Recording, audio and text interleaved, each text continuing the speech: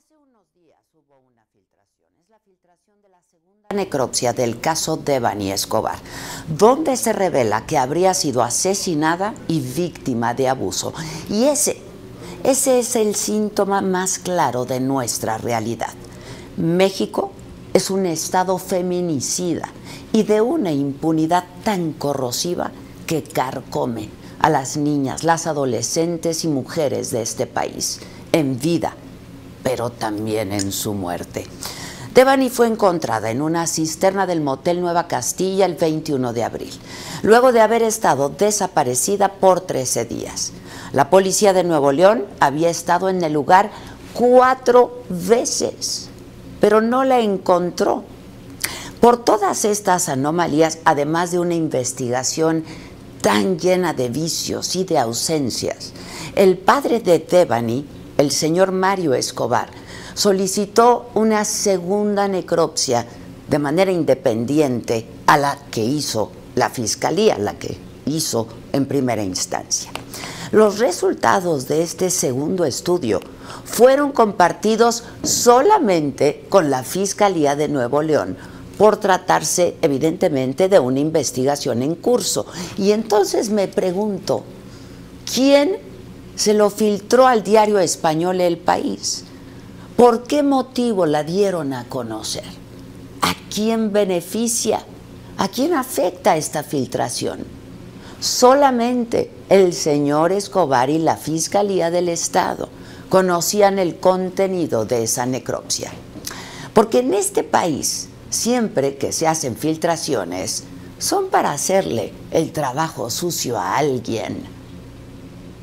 Y es que es tan delicado el contenido de esa segunda necropsia que se debió resguardar con el más absoluto sigilo, con una cadena de custodia sólida e íntegra, atributos que a la luz de los hechos las autoridades en este país no conocen, ninguna. Porque lo que revela este documento filtrado tira por completo la versión ya de por sí endeble de la Fiscalía de Nuevo León. Desde que el cuerpo fue encontrado, la autoridad solo atinó a decir que la causa de la muerte había sido un golpe en la cabeza. Jamás han podido explicar cómo es que llegó el cuerpo de Devani a la cisterna del motel. El viernes, el presidente López Obrador se reunió con la familia Escobar. Les prometió que no habría impunidad. El subsecretario de Seguridad, Ricardo Mejía, dijo que se van a revisar los dictámenes sobre la necropsia, los avances en la investigación y posibles omisiones de las autoridades. Y en esas estamos, en esas estamos las mujeres de este país entre autoridades federales que prometen, otras, las locales que son notoriamente incompetentes, vamos, hasta indolentes. En México son las familias quienes terminan convirtiéndose en peritos, en investigadores, en policías, por todo lo que no funciona. Insisto, ¿eh? duele, duele muchísimo. México es un estado feminicida. Y decirlo, decirlo no es consigna, es una descripción real, cruda, dolorosísima. Yo soy Adela Micha. Comenzamos.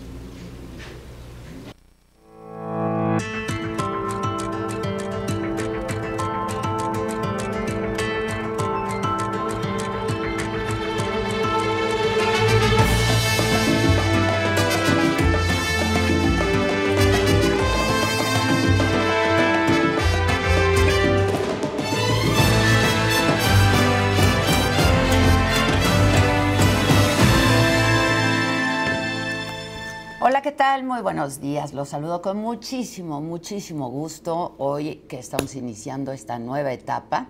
Me lo dijo Adela, ahora producido por la saga, por este equipo de trabajo al que amo profundamente, pero no solo eso, al que admiro profundamente, porque hemos trabajado para esto a marchas forzadas, porque ha habido un empeño, una pasión y una confianza y una apuesta a este proyecto que yo no tengo con qué agradecer.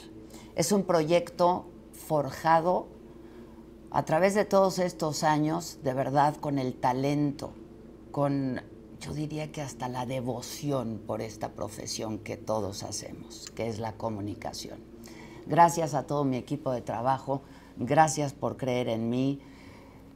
Atrás de mí, solamente, solamente tengo a un gran equipo de trabajo. Somos pocos, pero enorme su talento. Muchas gracias, gracias. Y bueno, a todos ustedes, gracias por supuesto por seguir con nosotros, por acompañarnos. Yo les dije que aquí seguiríamos. Les agradezco muchísimo. Un abrazo con mucho cariño y mucha suerte también para esta nueva etapa que inicia en el Heraldo Televisión. Lo de hoy y lo de aquí es este caso, el de Devani, que continúa, que nos duele, que es aterrador, porque como ya les decía eh, al inicio de este espacio, eh, que también vamos a hablar eh, con más profundidad, vamos a tener oportunidad de hablar con el subsecretario de Seguridad Pública, con Ricardo Mejía, y vamos a hablar también de otro tema que eh, pues está en boca de todos, ¿no? que es el polémico tren Maya, la construcción, la polémica construcción del tren Maya, porque un tribunal ya confirmó una suspensión provisional que lo que hace es frenar las obras del tramo 5. Es el que va de Playa del Carmen a Tulum. Otros temas importantes es que se reanuda esto que ha sido durísimo, ¿no? Que es el juicio de Amber Heard y Johnny Depp eh, y el regreso de Silvia Pinal a la obra de teatro de Caperucita. A mí, más que a nadie, me da un enorme gusto que esté bien, que esté fuerte y que esté haciendo lo que a ella más le gusta hacer, que es trabajar. Y pues nada, muchachos, el América ya no son 11 jugadores, ya son 12 jugadores, ¿no? Pues sí, así están las cosas. Ahora, vamos a entrar al caso de Devani Escobar. El viernes los padres de la joven se reunieron con el gobernador de Nuevo León, con Samuel García. También estuvo el subsecretario de Seguridad Federal, Ricardo Mejía, y estuvieron también funcionarios de la Fiscalía del Estado. Dieron una conferencia de prensa posterior a este encuentro, el señor Mario Escobar envió el siguiente mensaje a las autoridades. Queremos respuestas por el bien de Nuevo León, por el bien de México, por el bien de todas nuestras niñas, para que ya no vuelva a pasar. En ese sentido, bueno, este, espero de alguna manera tener la certeza de que esto este, va a fluir, va a fluir más rápidamente para este, bueno, tener la verdad. Y bueno, en esta misma conferencia, les decía, estuvo el subsecretario Ricardo Mejía y dio a conocer el subsecretario que el motel Nueva Castilla incurrió en posibles omisiones o incluso en delitos. Esto por no entregar los videos de vigilancia a tiempo y por lo tanto se perdieron días muy valiosos en el caso Devan. Y yo tengo en la línea telefónica al subsecretario de Seguridad, Ricardo Mejía. Subsecretario, ¿cómo estás? Buenos días. Buenos días, Adela, un gusto saludarte a ti y al auditorio. E igualmente, te agradezco mucho. Oye, de entrada, pues es un caso que nos duele, que nos ha dolido muchísimo, en donde pues no damos crédito, no tan poco pulcra que ha sido esta investigación, subsecretario. Sí, desde luego que cualquier muerte es, es muy dolorosa, muy lamentable, sobre todo más cuando se trata de, una joven eh, pues llena de vida. Evidentemente esto nos lastima a todos y por eso el compromiso del presidente Andrés Manuel López Obrador, que nos ha instruido a a poner todo nuestro esfuerzo, todo nuestro empeño por coadyuvar con las autoridades de Nuevo León para que no quede ninguna duda sobre los hechos y en su caso de haber alguna implicación de carácter criminal, poder este, actuar con toda la fuerza de la ley para que no quede ninguna duda y además haya una responsabilidad de carácter penal. A ver, subsecretario, comentaba yo con el auditorio que justo el viernes dijiste que el motel había incurrido en omisiones e incluso podría ser hasta en delitos. Eh, ¿Qué exactamente fue lo que pasó? Bueno, a este, este establecimiento, a través de, sus representantes, se les pidió información sobre cámaras de video que pudieron haber captado eh, imágenes de, de Devani o de cualquier otro evento que pudieran ayudar a la investigación. En un primer momento ellos señalan que no, que no almacenan las imágenes, que solo es monitoreo en tiempo real y que mm. no contaban con ese material. Sin embargo, después que se conminó ya con una eh, mayor fuerza legal, finalmente ellos entregan videos que desafortunadamente pues han sido ventilados mediáticamente. ¿Y sobre esto podría haber responsabilidades penales? Eh, desde luego, pues es un, es un tema que, ya lo arrajará la indagatoria, pero eh, ellos debieron haber colaborado desde, desde el primer momento, no obstruir y facilitar que fluyera toda la información y todos los indicios que apoyaran y por eso ahí, el día viernes que tuvimos la, rueda de prensa para informar los acuerdos, fue uno de los puntos, es decir, eh, en este caso del, motel, pero también sí en el caso de algunos eh, integrantes de la fiscalía hubo alguna omisión. Eh, por lo pronto el fiscal... Pero la hubo o no la hubo, subsecretario. Bueno, aquí evidentemente cometieron muchos errores. Hubo, algunas situaciones que, que dañaron la investigación y también generaron esta insatisfacción eh, legítima de los padres y entonces por eso hay ya procesos administrativos frente a algunos servidores públicos. ¿Solo administrativos?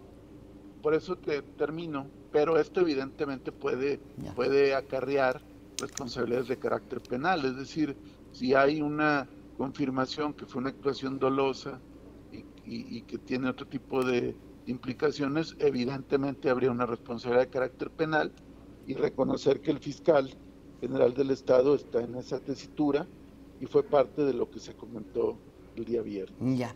Subsecretario, ¿cómo van ustedes exactamente a coadyuvar con la, eh, con la Fiscalía del Estado? Bueno, precisamente uno de los puntos también que se vio, eh, nosotros hemos estado eh, participando, dando opinión, aportando algunas cuestiones que puedan ayudar, pero lo que se comentó y fue el compromiso es ya formalizar mediante un oficio de colaboración dirigido a la Secretaría de Seguridad y Protección Ciudadana para que con todas las áreas técnicas que tenemos poder aportar estos elementos a la propia carpeta de investigación y que puedan derivar precisamente ya en el esclarecimiento de los hechos. Entonces, esto se va a formalizar y a partir de pues de la parte pericial, forense, tecnológica con la que contamos, pues poder ayudar para poder pues, actuar con mayor celeridad y con mayor eficacia. Que sea expedita, ¿no? Este, subsecretario, déjeme hacerle un par de preguntas. Hay dos necropsias y las dos contienen información y resultados distintos. ¿Cuál es la buena? Bueno, esto que comentas es muy importante, Adela.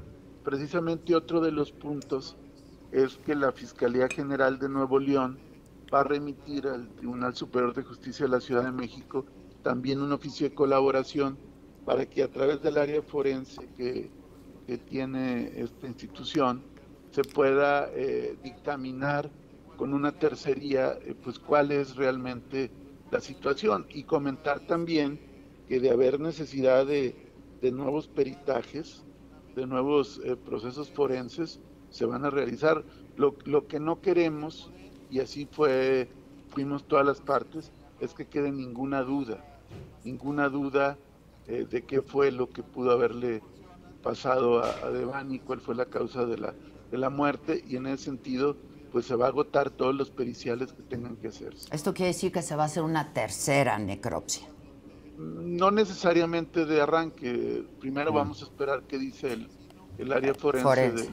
Y si de ahí hay necesidad de un, de un tercer eh, peritaje, un, tercer eh, auditoría a la necropsia, pues se tendrá que hacer. Pero eso será precisamente ya a raíz de lo que ellos mismos eh, revisen.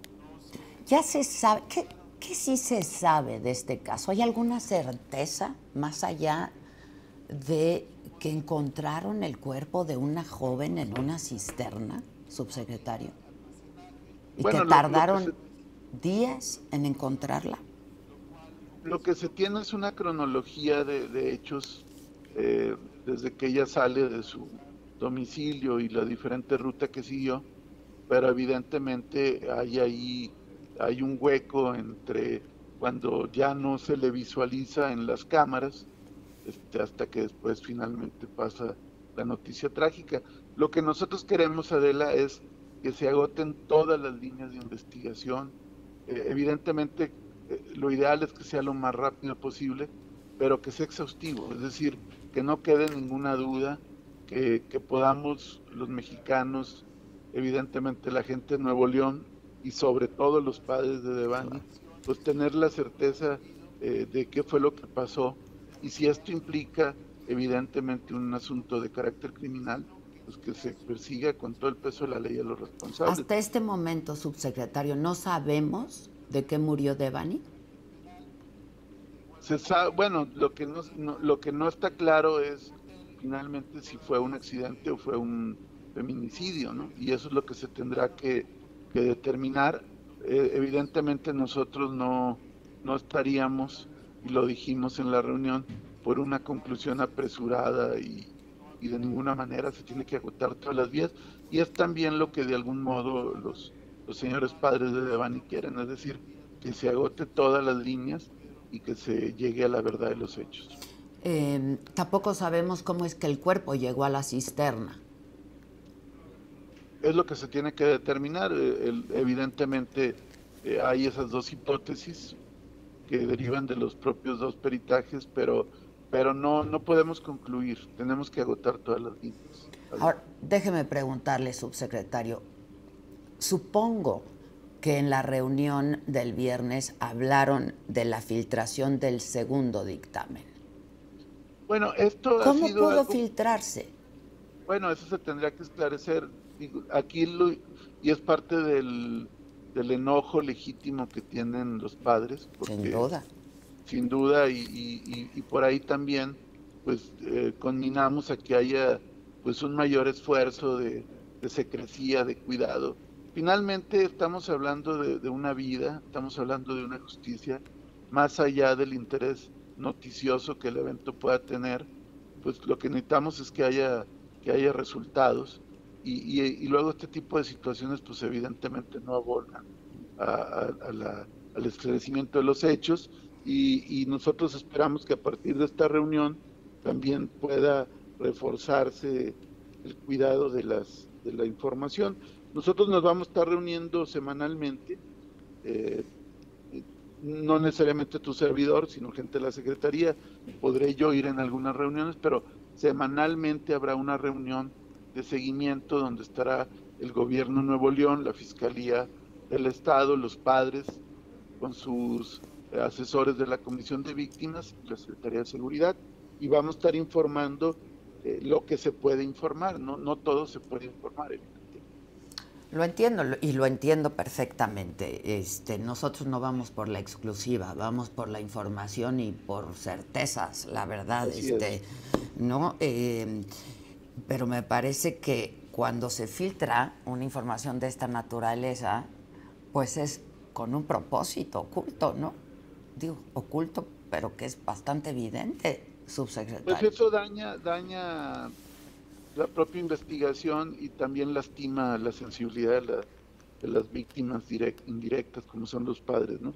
Entonces nosotros sí creemos que en estos casos, eh, sin tratar de interferir de ninguna manera en la libertad de expresión, pues sí poner por delante un interés eh, de otra naturaleza que es también la, el propio derecho a la intimidad de las personas, sobre todo cuando pues, son datos sensibles, son datos que, que lastiman y que evidentemente pueden luego también advertir a los propios perpetradores si fuera el caso. Lo que es cierto también, subsecretario, es que como el caso de Devani, se dan muchos otros cada día de mujeres no víctimas de feminicidio en este país.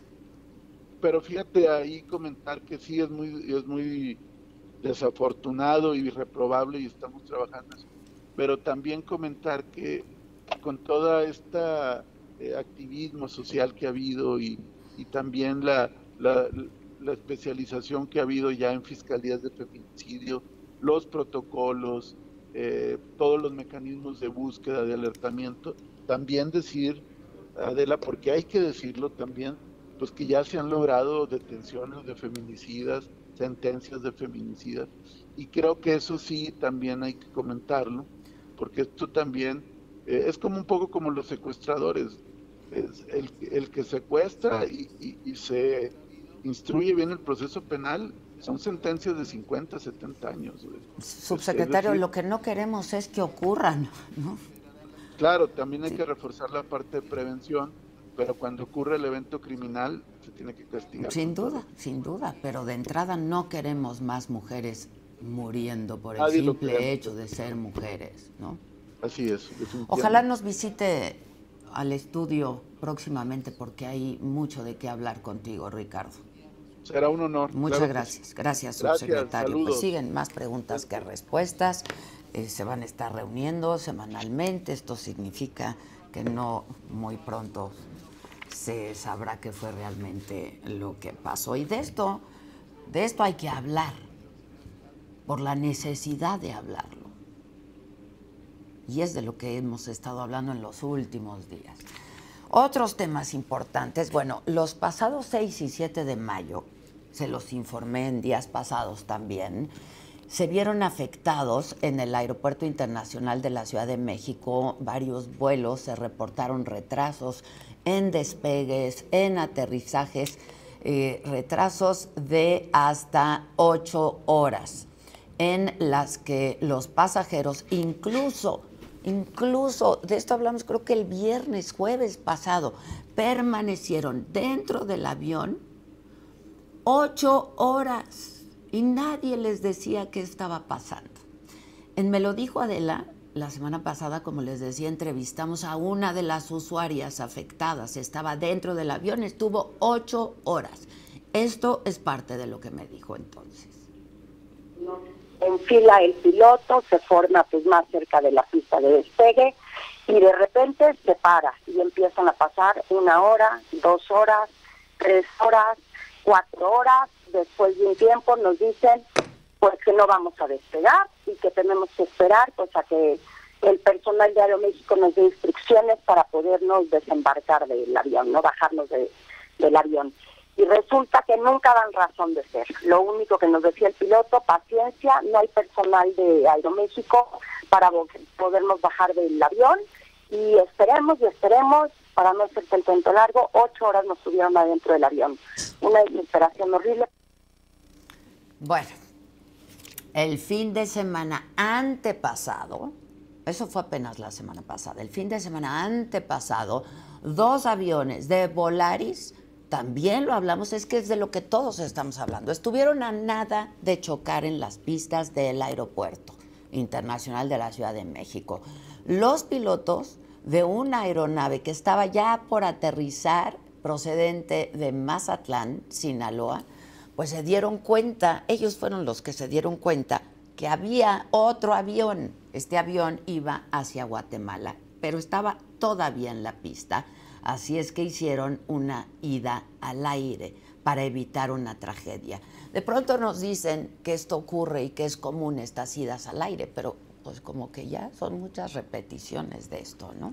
Cuatro días después, el miércoles, un avión de Aeroméxico que también estaba a nada de aterrizar, se dio cuenta que otra aeronave, ¿no?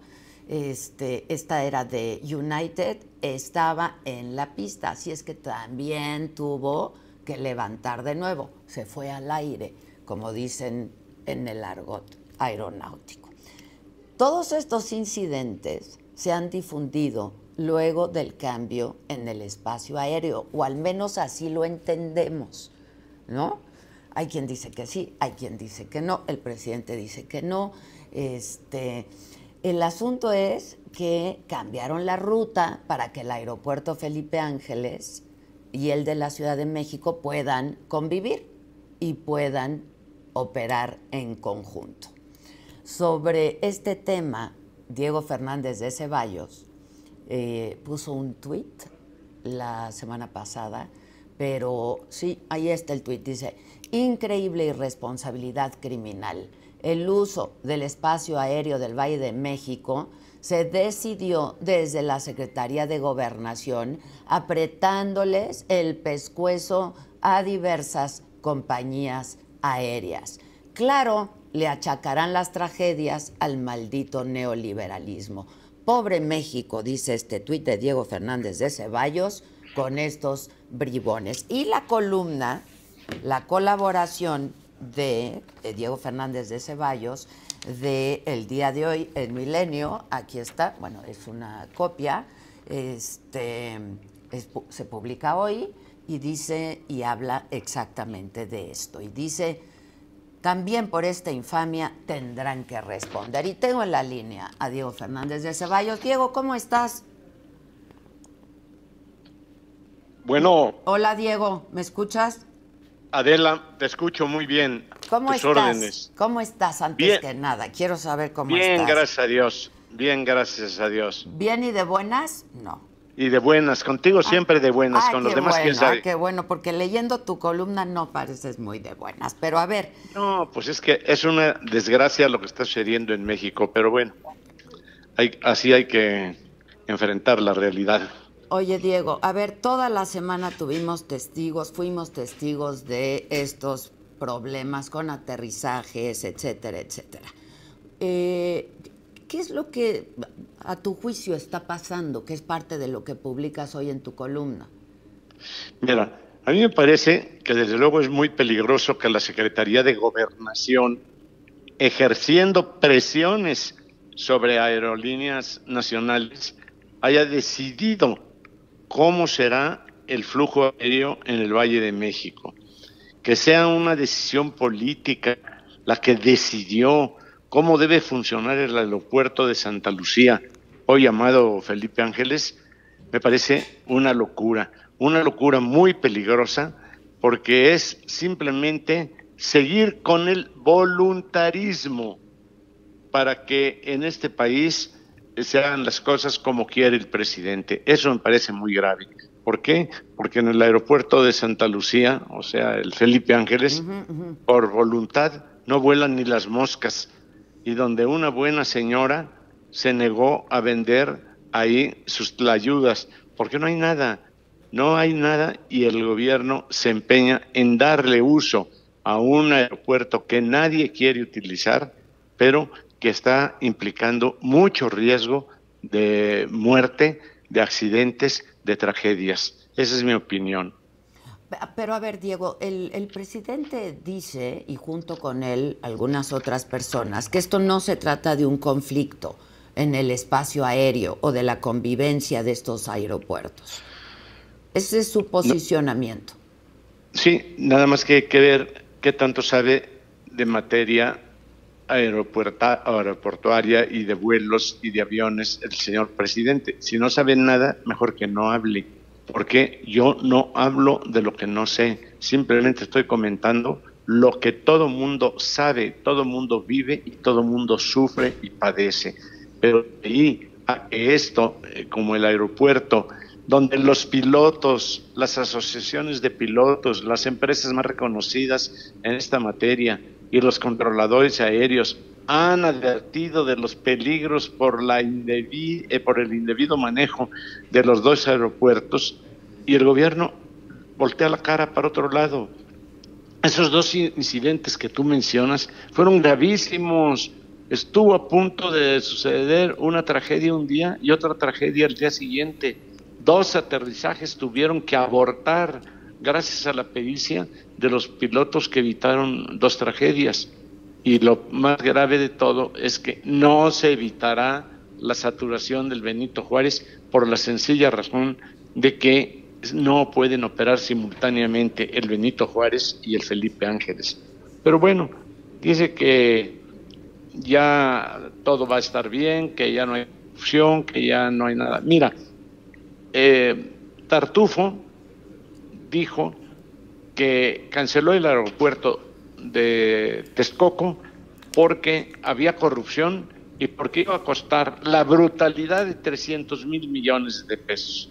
Bueno, pues al día de hoy no hay ningún corrupto enfrentando a la justicia y su exsecretario de Hacienda, el doctor Ursúa, que merece enorme respeto, ha dicho que al día de hoy el Felipe Ángeles, eh, que está todavía sin concluir, lleva a estas fechas un costo directo para la nación de aproximadamente 450 mil millones.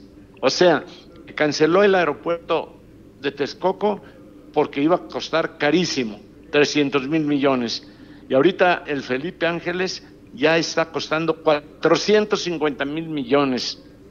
Caray, si eso es ahorrar el dinero, ¿en dónde estamos parados, verdad? Oye, Diego, este, como parte de la solución, pero a ver, vamos a entrar un poco en el tema político de este asunto. Este desdibujamiento del secretario de Comunicaciones y Transportes, ¿no? De infraestructura, secretario de infraestructura, y el que está tomando y el que está convocando estas reuniones, a las que por cierto no convocan al sindicato, ¿no? Este, yo hablé con el dirigente del sindicato de controladores aéreos, no los convocaron eh, ¿cómo, cómo, lees tú esto? Sencillamente estamos viviendo eh, con un gobierno de caprichos, de necedades, de, de obcecaciones, cuesten lo que cuesten, así de claro. ¿Por qué? Porque lo quiso el señor presidente, porque lo ordenó el señor presidente. Ahora tienen que volar en ese aeropuerto. Nadie lo quiere, no sirve, no ayuda no resuelve ningún problema, pues entonces entra la Secretaría de Gobernación, que no tiene motivo para entrar en esta materia y sin conocimientos técnicos, ni científicos, ni experiencia en esta materia, les impone a ciertas líneas después de bajar el costo de los boletos, después de darles tales o cuales ventajas, no van las líneas, no sirve el aeropuerto, no le ayuda a nadie, nadie lo quiere, la obra magna de este gobierno pues la impone, porque así se impone todo en este país, en este gobierno. Bueno, porque... Pero mira, a, ver, dime, dime. A ver, para mí hay un agravio mucho mayor que si se hubiera permitido que la iniciativa privada construyera el de, Texcoco, a estas fechas ya estaría prácticamente funcionando y se cancelaría el Benito Juárez, dejando libres para la Ciudad de México 7 millones 500 mil metros cuadrados para hacer un desarrollo que beneficiara a millones de capitalinos y de mexiquenses. Un desarrollo que tendría la posibilidad en ese 7 millones 500 mil metros cuadrados, tendría la posibilidad de haber allí escuelas, universidades, hospitales, comercios, bibliotecas. Pero había corrupción. Sí, había corrupción y todos esos corruptos, todos están construyendo el tren Maya y el no sé qué y dos bocas y las obras del gobierno. O sea, primero indemnizó a los corruptos y después los llevó a que les hicieran sus obras de tal manera que fue una infamia. No hay nadie perseguido que se conozca, no hay nadie en la cárcel por tantos robos que dicen que se cometía. Pero lo más grave es esto, no pudo soportar el gobierno mafioso que padecemos una obra privada de 300 mil millones. Por capricho la canceló y ahora tenemos un costo de una obra sin terminar que ya va en 450 mil millones de costo directo, según el exsecretario del presidente López Obrador. En esas estamos. Quiere decir que ningún país del mundo tenía ni tiene a 10 kilómetros del centro de su capital 75 hectáreas, o sea, esos 7 millones 500 mil metros a 10 kilómetros del centro de su capital, para hacer obras de gran calado en beneficio de la población. México perdió esa oportunidad porque no hubo quien encerrara en un manicomio al siniestro depredador de México, a ese conocido ya como Tartufo. Te van a mencionar otra vez en la mañanera, ¿eh? ¿Mande? Que te van a volver a mencionar en la mañanera. Pues ya sabes lo que me vale. Lo que sí te digo es que también cariñosamente le llamo Su Alteza Pequeñísima. Adela, me dio muchísimo gusto estar contigo. Nada más te quiero preguntar, ¿cómo estás de salud? Bien, gracias a Dios. Estoy superando un herpes, pero que ya voy de salida. ¿Y nos vienes a visitar? Estamos cerquita. Pronto, sí, ¿Estás en la Ciudad de México, en tu rancho? ¿Dónde estás?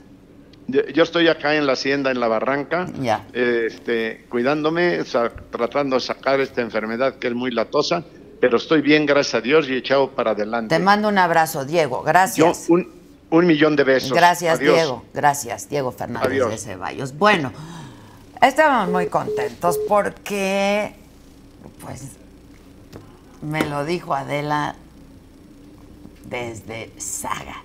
Para nosotros es un triunfo maravilloso. Gracias por compartirlo con nosotros. Gracias, gracias, gracias. Y venga el resto de la banda, venga.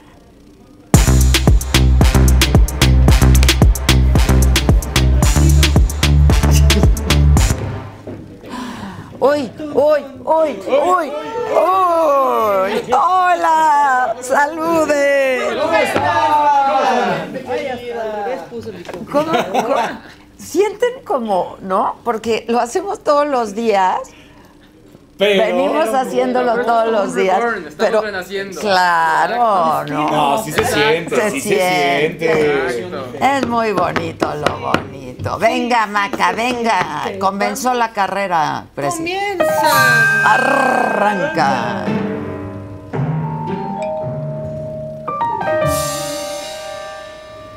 Y claro que se siente. Y los 14 Pero qué bonito se ve. Gracias, muchachos. Gracias. Gracias por acompañarnos. Facebook, YouTube, La Saga. Denle like. Denle like. Denle like. Denle like. Harta gente y nada de like. 1600 likes. ¿Y queremos ¿Cuántos queremos? 5000. 5000. 5000. Sí, sí. Viene. Venga, ¿eh? Y bailan todos. Y bailan. Besos. Denle like, muchachos. Denle like. ¿Quién, ¿Qué es esto? por dinero, pero hoy no lo vamos a hacer. Hoy por ¡Wow! Ábremelo, Dani, tú Claro siempre tan sí. Abre. Estimada señora de la casa, ahí les voy.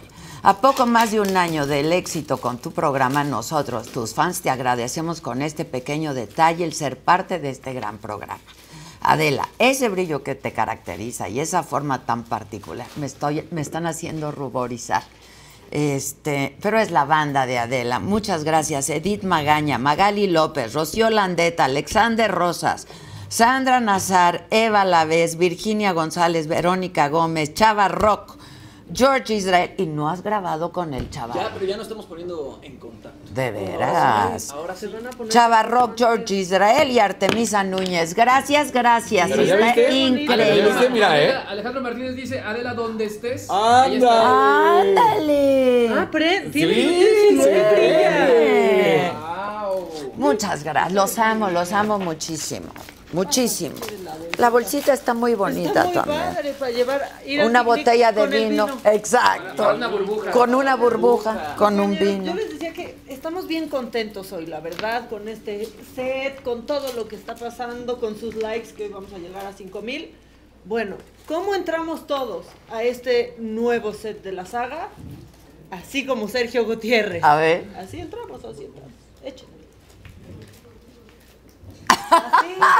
Así, hombre es dueño, dueño y señor. Es el señor de la casa. Es el el señor de la De casa. La casota. La casota. Y saben qué? que otra cosa por la que tenemos que estar muy, pero muy felices es que tenemos presidentes para aventar para arriba. Ah, caray. ¿Cuántos presidentes quieres? No, pues, pues, pues, pues, ah, sí, con uno, no. sí. No, no, presidentes así, miren, un titipuchal. Porque Monreal fue a Quintana Roo, Ricardo Monreal. Ah. ¿Y ahí qué pasó? Por favor, échenme. Presidente. Ándale, pues.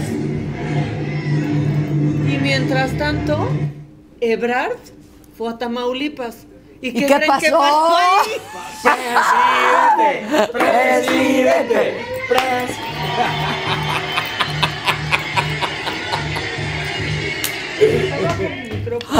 ¿Qué ta- Ebrard. Ebrard, ¿no? ok. ¿Pero qué creen Ebrard. que pasó? ¿Qué pasó? Alejandro Moreno, líder nacional del PRI, fue a Durango. ¿Y qué creen que pasó? Check. A ver. Presidente. Eh, ahí está. ¿Qué pasó? ¿Suena, suena? No se oye. Bueno. ¿Ya estás grabando? Háganle manitos. Presidente, presidente, presidente. Eso pasó también. Eso pasó también. Eso pasó Y también. luego, ¿qué Pero tiene tan pasó? mala suerte que ni se oyó. Ok, luego. ¿Qué creen que pasó? ¿Otro más? ¿Otro? Noroña. No. Noroña. Ah. A Noroña no le dijeron nada, pero lo captaron en la sala VIP. Centurión. Uy, mi- Miren qué. ¡Qué fifí! Y, y llegó en su Volvo. Llegó en su Volvo al aeropuerto, que sí tiene. Pues miren, ahí está. Ahí está Noroña, muy fifi. muy Y le gusta el buen vino, y le le gusta la buena comida, y le Los gustan los buenos restaurantes y los buenos coches. sí. ¿No? Pero él alguna vez me dijo, pues cada quien gasta su lana en lo que quiere. Pero ¿por qué no se Que compra también es Que cierto. también es un coche guatemalteco y no uno sueco? Pues, ¿Para qué? Yo digo. Pues sí, Yo digo. yo ¿no? digo. ¿Qué más, Malna? Pero bueno, la verdadera carrera presidencial se dio en la Ciudad de México el fin de semana. ¿Qué creen? ¿Qué creen? Pero no gritaron, ahí sí, no gritaron, ¿eh? Claudia Sheinbaum, la jefa de gobierno, y el secretario de gobernación, Adán Augusto López. Uy, los ahí dos está. Pero miren cómo va a aventajar Claudia Sheinbaum A en este momento. Mira, ahí va. Ahí va, ahí va, ahí que va. de, ah, Nárralo. un pasito que, adelante. que lo narre Casarín. Comienza a avanzar dos pasos por delante la señora Sheinbaum, la gobernadora, mientras que Adán Augusto empieza poco a poco a dar un paso más veloz. Se da cuenta que la carrera presidencial se le va de las manos, se le resbala de los pies. Adelanta. Y Rosa Isela ni se dio cuenta que está en la carrera. Se le resbala de los pies. Ay, ay, ay. Así las cosas macabronas del fin de semana. Estén felices, hay muchos presidentes. Muchos. Hay muchos presidentes. Para aventar para Y estén más felices. A Noroña nadie le gritó en el centurión. Qué bueno. Estaba vación, ¿eh? Sí, Luego no se deja ni entrar. Es que en una de esas era la de la tarjeta negra y ahí luego está más vacío. Exacto. Exacto. Yo digo, compañeros, sí. Oigan, son- seguimos siendo 14 mil. Pero más casi likes, 3 ¿no? mil likes. Casi 3 mil. Y vamos por 2.9. 5. Vamos por Vamos cinco, por lo cinco, dijimos. exactamente. A baile y besos tronados. Exacto. Porque hay naranjitas. ¿Cuántos van? ¿Cuántos van? Estoy nerviosa. Casi 3 mil, ¿no? 2.982. Cinco mil. Faltan 20 para los 3.000. Va. La tenemos que armar. Vamos a los compañeros. cinco mil, muchachos. El que sigue, por favor. El que sigue, por favor. La que sigue, por favor. Tun, trun, tun. Viene Casarín. A ver, pues resulta que, digo, ya he sabido que hay equipos de fútbol que siempre son beneficiados por el arbitraje, pero ya el descaro del América en verdad es que por eso nadie le cae bien el América, por eso nadie quiere No, o apoyar a sea, este tú eres equipo. antiamericanista. Claro señor. que sí, O no, sea, claro que a ver, Ahora sí se pasaron. sí, No, No, yo, no, yo- no. yo estoy O sea, de acuerdo, pero hay que entender que el arbitraje desde que está Arturo Bricio, y tú lo has dicho, Desde que está Arturo Bricio, ha estado pésimo Sí. para todos lados. Pero este penal, ¿qué pasa? Hay un penal donde Anthony Silva, el portero del Puebla, lo detiene y pues Diego Valdés, el jugador del América, pues no lo sabe marcar. Y entonces de repente dicen, ay, ¿qué creen que el VAR? Ya sabes la famosa Ajá, el ajá. Dicen que se movió. La regla estipula que si el portero tiene un pie sobre la línea, el otro puede estar adelante o no. Y ahí está la imagen clarísima. Pero ya sabes, los árbitros hacen lo que quieren, ven lo que quieren, deciden que, pues no, que hay que ayudar a la América. Mira, ahí está el jugador del Puebla. Este es el, además el tuit de Anthony Silva, que además me parece muy bonito. Es hermoso el fútbol. Cuando competís con tu rival, es paraguayo, dentro de la cancha, hoy América hizo un gran juego. Hizo un gran esfuerzo el Puebla. Muchos llevamos mil batallas en un deporte de muchos, pasión. Pero señores, no lo destruyan. Hagamos lo que corresponde, pero no mejorando esto. Y mira, su pie izquierdo se ve perfectamente en la toma de abajo. En el bar sí En se la ve línea. bien claro. O sea, Rozando la línea con sigue el rozando la Sí, línea la con el neta, balón. sí. Pero no, repetición, ¿Lo repetición. Luis? No, sí o sea, No, a ver, yo lo que- acuchillaron al Puebla. Yo lo que sí acepto es que como americanistas, porque ya ah, con, con Toñito, con, con Chalini ya lo hablamos, ¿Qué- qué y dije? no estamos muy de acuerdo de cómo pasaron. Muy, Pero pero pasamos, pero pasamos, exactamente. Y otros, otros equipos se quedaron abajo, nosotros sí pasamos. Es- Pero ese- bueno, Pero trampas, como te acabo de decir. Es. Por eso le dejé de ir a ese equipo. Exacto. no, no, sí, es que y no otra cosa es entender que que mejor apoyar de esa manera. Un- A ver, voy a moderar. Ok. A ver, puro grito aquí. Voy a moderar y la señora de la casa va a dictaminar. Muy bien. Muy mal. Muy mal. Muy mal. Yo lo sé, Muy bien, pero muy no, bien. pero. Y bueno, y nos vamos a la semis. Ay, ay, No, ay. no vi. Pero qué ejemplo es ese para las nuevas generaciones, para Sí. Por eso, no le- por, eso, por eso mis niños no vieron el partido. Es más, hablando de nuevas generaciones, el Checo Pérez también tuvo a su tercer hijo. ¿Y por qué? Porque Checo Pérez es americanista y espero que no le esté enseñando eso a sus hijos. Exacto. Por favor, que Yo no no- le no enseñen sé Un pumita, no me lo no vayan a vestir no. ahí de la América. Mis bendis no lo vieron. Entonces, Mira, no, ahí está, ahí está Emiliano, su nuevo bebé. Esperemos que sí no aprenda a irle a la América, por favor, porque la verdad es... Ah, si alguna vez se han preguntado por qué le gusta el número 11, que lo trae en el equipo, en su coche, pues es porque le gustaba como futbolista el número 11. Entonces, bueno, pues ahí está. Pero, pero esas trampas, Ade, es que son muy molestas. ¿Por qué tienen que hacer eso y por qué los árbitros tienen que apoyar?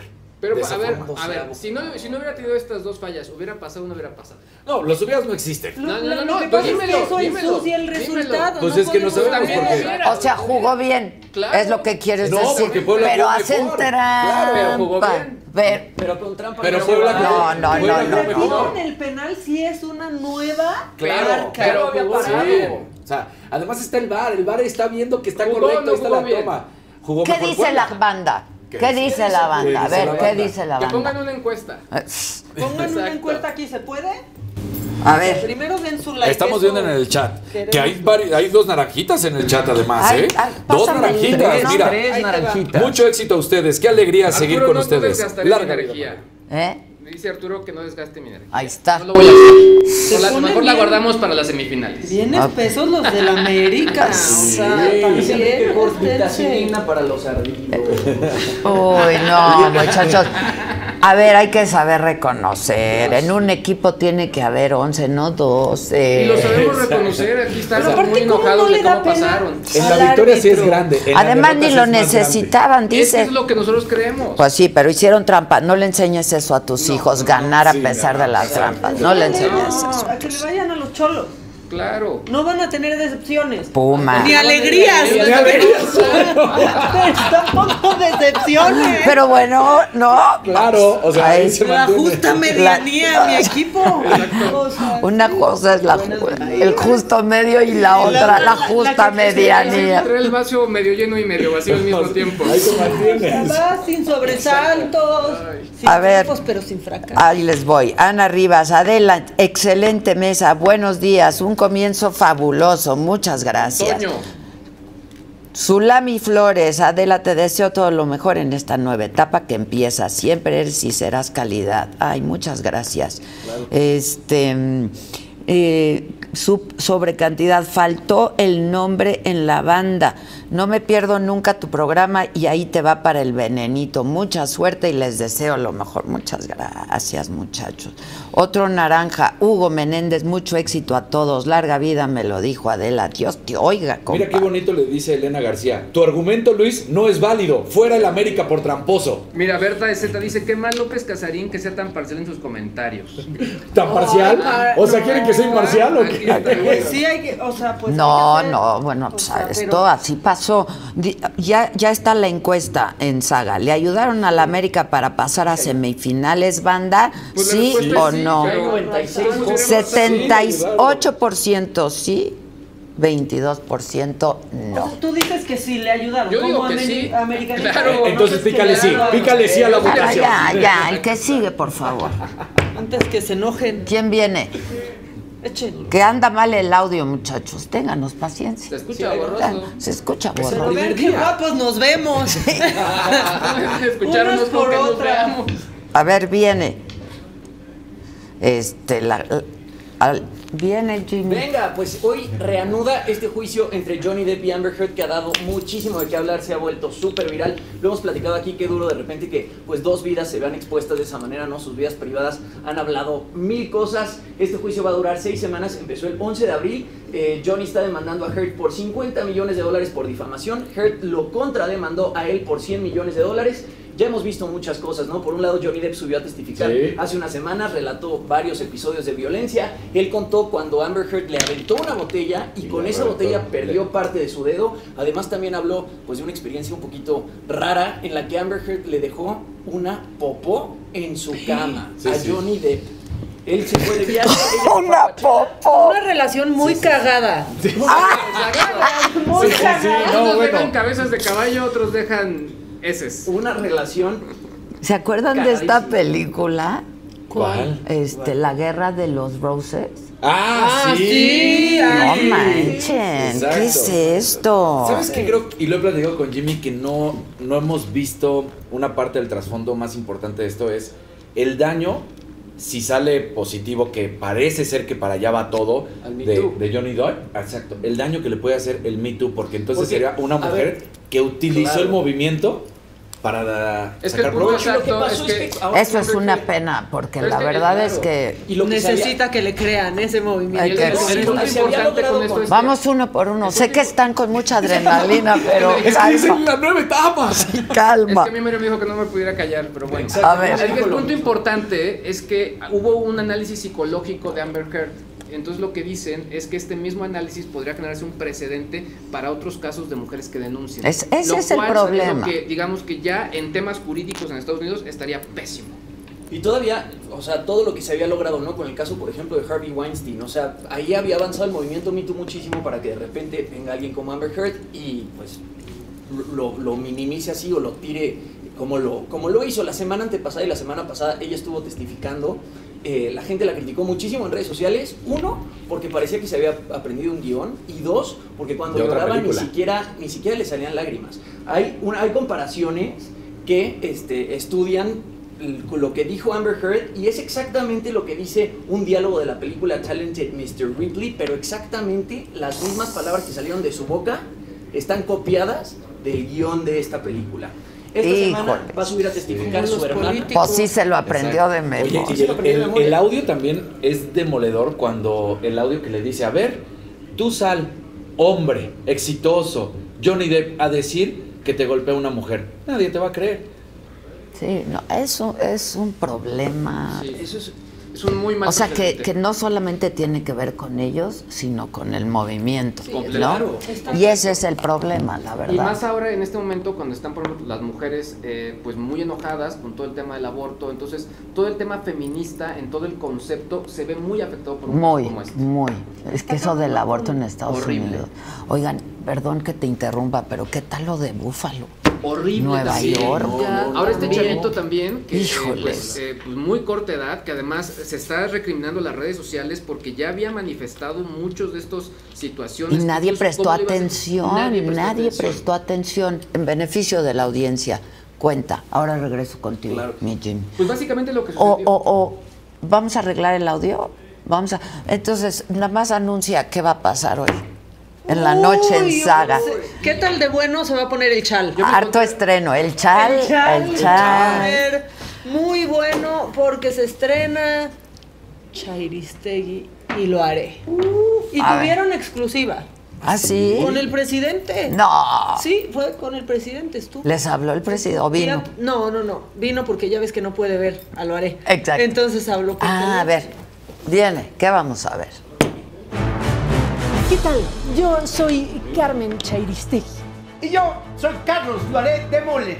Pero al señor presidente, yo le quiero preguntar, aprovechando lo que usted me dice, ¿cuánto le dejaba el ratón de Pemex a su hijo José Ramón abajo de la almohada de su casota de Houston? ¿Mm? A ver, desgraciado. Eh, eh, voy a nacionalizar tu programa. ¿Y la corrupción? Eh, esa ya no existe. y también le vamos a cambiar eh, el nombre al país. Vamos a impulsar eh, la transformación y vamos a ponerle eh, un nombre acorde con el cambio por el que la gente votó. Ya, ya, ya me imagino, ¿eh? ¿Cómo le van a poner? ¿Pejezuela? ¿Pejezuela? Le tiro con todo y él me tira a mí, pero al final del día. sí, No, sí eso- lo- tiene- sí, es mira. un cuate muy inteligente, un cuate brillante. Te voy a decir una cosa, tiene una percepción la gente, o mala percepción de José Ramón. O sea, si es como jefe, era un cabrón, era un cabrón. La neta. A mí me, a mí me borró, me cepilló de- del, del fútbol. Tú, si te- Andrés Marino te paga y te hace pendejo. No, otra vez, que Andrés Marino es mi jefe, qué pinche en Este güey, pues no me paga este cabrón. Como americanista. ¿Estás de acuerdo que el Tano continúa? Qué bueno que me preguntas eso. A ver. Sería un grave error. Ponlo aquí cerca. Emilio, sería un grave error. Gane o pierda el Tano, sea campeón o no, traer al Arcamón. ¿En qué pinche mundial jugó ese cabrón?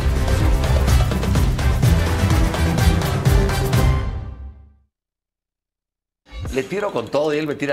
Básicamente ese personaje es un cerdo, ¿no? Se tira pedos y se saca mocos y yo soy un caballero, ¿no? Chapado a la antigua, básicamente. Eres un pedorro. ¡No! No. Te estoy extrañando con todas mis fuerzas, yo no te olvidé. Porque cuando te fuiste, las ganas de amar se me fueron también. Me gustan los tacos de mole, pero aquí nada más se comen chalupas. Aquí no se comen chalupas, pero a mí me gustan, pa. Y yo quiero esta vida, no quiero privarme de comerme los tacos de mole porque me hacen feliz. Así de simple y así de natural. Adela, tuvimos una hija rara. Hágale una rueda, Juana, porque ya empezó a bailar. Esa morena cubana nos va a hacer hasta sudar.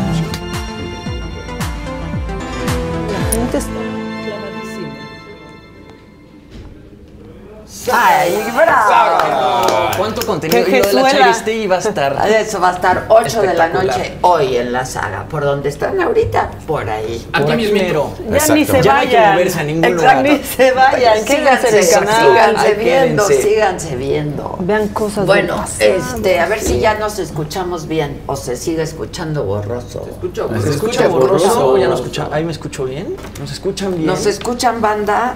Espero Oye, que sí. felicidades, éxito en esta nueva etapa, dice Almísima, con un amarillito y un naranja. También de Vero Martínez. Muchísimo éxito en esta nueva etapa. Besos, mis chulos, desde Chiapas. Eso. Eso, Tilín. Eso, Tilines. Dice Mayra Cabrera que todos le den like. Exactamente, todos, todos. Ya casi tenemos 4000 likes. Estamos cerca de la meta. Dando Pero a ver, ¿ustedes quisieran decepcionar a Adela? No, Se los digo, no quisieran. no quisiera. ¿Quisieran que lo regañe? Ayer No me dejaste tu like. Ay, ay, sí. Ayer regañé a Maca y su carita. Me dice, ¿pero y qué? Y yo, No, pero ¿qué, qué, qué con esto? No entiendo. A pero ver. se explicó, se explicó. En beneficio de la audiencia, deja decir que se explicó. O sea, sí. Chiste explicado. No sirve. Si lo tienes que explicar, no es un chiste. Eso, este, que lo sepan. Que lo sepan. Pero vean hoy a Chairi te llevaré a las vean 8 de la noche. Chairi. Va a estar bueno. Bueno, a Mira, ver. para terminar con lo de Johnny Depp y Amber Heard, esta semana testifica justamente la hermana de Amber Heard, quien supuestamente en algún momento ella me dio una de sus peleas. Johnny Depp va a ser cuestionado por los abogados de Amber Heard y podría testificar Kate Moss. Esa es una parte bastante interesante porque a Kate Moss la había propuesto Depp para testificar. Ellos anduvieron en los noventas y según Depp pues nunca hubo violencia entre ellos cuando estaban juntos. Pero Amber Heard en el juicio de 2020 dijo que Depp había empujado a Kate Moss de unas escaleras y ahora en este caso se le ocurrió mencionar el nombre de Kate Moss. Entonces el Kate Moss ahora ya es relevante para el caso y podría testificar pues evidentemente... Porque no habían dejado que llegara y ahora que Va a ir Valentino Lanús a testificar junto A con Otto yo que sale en la foto. videos de YouTube que sí decían que, que Valentino Lanús podría ser crucial en este juicio. Y es la única vez que Valentino Lanús podría ser crucial. Punto.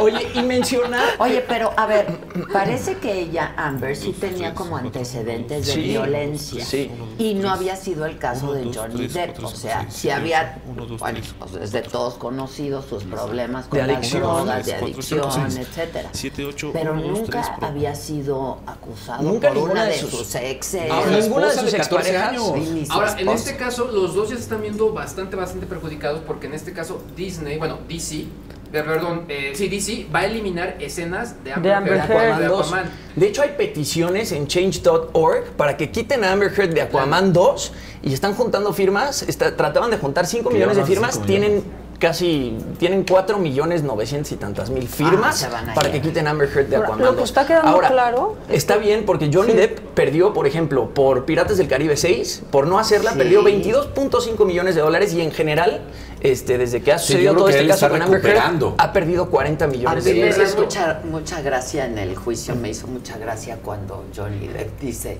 pues es que estaba en un proceso no de, de desintoxicación, etcétera. Y entonces le preguntan que dónde lo, a dónde se había ido para este proceso y, y con mucha pena dice, tengo una isla. No, Sí. Tengo una islita ahí por las Bahamas. Es chiquita, Exacto. pero le, chiquita. le- me- le dio pudor. ¿no? Exacto. Es, es- es raro decir esto, pero tengo una isla, ¿no? Que también hay un audio muy bueno el, el- cuando también lo está cuestionando el otro abogado que le dice, te tomaste un mega pint. Y él Ajá. dice, ¿mega pint? sí. No wine, Pues bro". yo O sé, sea, glass dice, of es un wine. vaso. Sí, sí, sí, No, sí, yo sí. sí creo que aquí se nota que es mejor actor Johnny Depp que Amber Heard. Está. Los dos andan echando de su cosecha y en su pose. Ahora, ayer, pero ayer yo estaba leyendo textos de periodistas eh, feministas que dicen que también eh, pues es muy fuerte que Amber Heard se esté enfrentando a una fi- figura como Johnny Depp en un juicio como este. O sea, Johnny Depp es una persona tan querida por Sí, su público y que la conocemos desde que, básicamente, por ejemplo, yo, desde que nací 21 todas Jump las Street. películas de Piratas del Caribe, Edward Pues claro. Scissorhands, este, El jinete sin cabeza, que de pronto te ponen a una, a una figura como esa, ¿no? Y te dicen que hizo algo mal. Bueno, pero el chiste de todo esto es que no sea la opinión pública y Exacto. publicada La que determine. la que determine el Pero es difícil. En su ¿no? momento hubo una figura muy difícil. o sea, el caso de O.J. Simpson, pues también era muy fuerte, ¿no? Y ahí sí, pues bueno, sea, Claro. o sea, digamos que podría ser equivalente. Yo estoy esperando que ya lo hagan serie, como el caso de O.J. sí, Simpson. O sea, sí, eso ya lo deben de estar empezando a producir. Interpretado por Johnny. Por Johnny Depp. Para recuperar sus 22.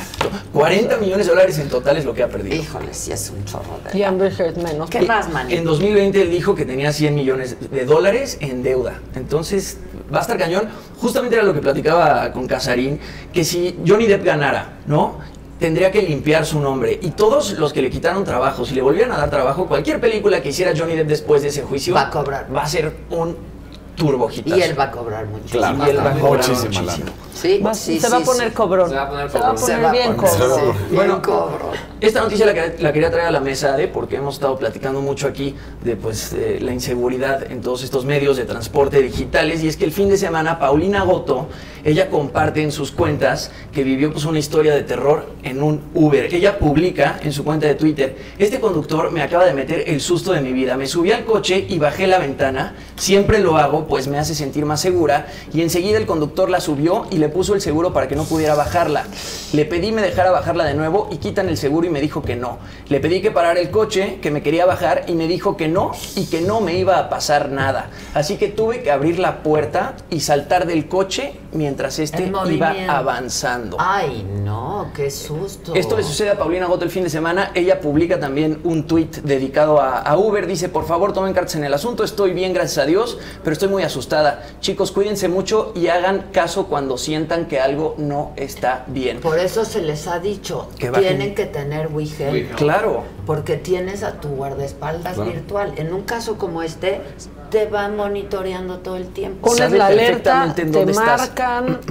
Exacto. Y si quieres compañía Sí. durante el viaje para que no le hables a tu mamá ni a porque eso hacemos, ¿no? Claro. Sí. Hacemos uno, hacemos como si vamos hablando. ¿Que de qué sirve? Que no sirve de nada. Dos, le hablamos o a tu mamá o a tu hermana o a tu hermano. ¿Que de qué sirve? te También sirve. Exacto, ¿qué pueden hacer? Entonces, pues aquí anunciamos WeHelp, este, porque es buenazo, porque te van siguiendo trayecto. sabe exactamente en dónde estás, ¿no? Y en caso de que el tipo no te dejara bajar del Uber, tú mandas una alerta y saben perfectamente en dónde tienen que ir este, a asistirte. Lo que le pasó a Paulina Boto es horrible. ¿Y cuántas historias no hay así recientes de choferes de Uber que hacen algo o le roban la identidad a otro chofer de Uber y realmente el que va Mira, manejando a el Uber mejor no, es el Uber? a pasar nada, pero Pues sí. es otra vez este ambiente en el que estamos viviendo, ¿no? En el que te sientes ya Te insegura. sientes insegura. Que yo le decía al este al subsecretario, le dec- a Ricardo Mejía, Mejía. le decía, pues es que no queremos que pase, Claro. ¿no?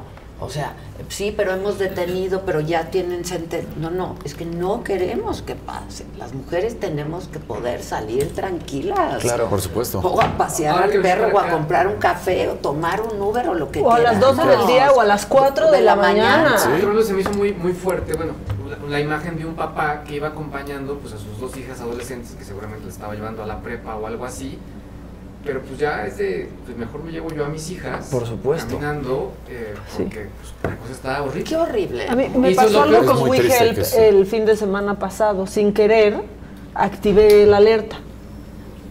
Me marcaron en un segundo. O sea, no alcancé ni a picarle, que había sido sin querer. Me marcaron. Soy su guardaespaldas digital. ¿Qué necesita? ¿Está bien?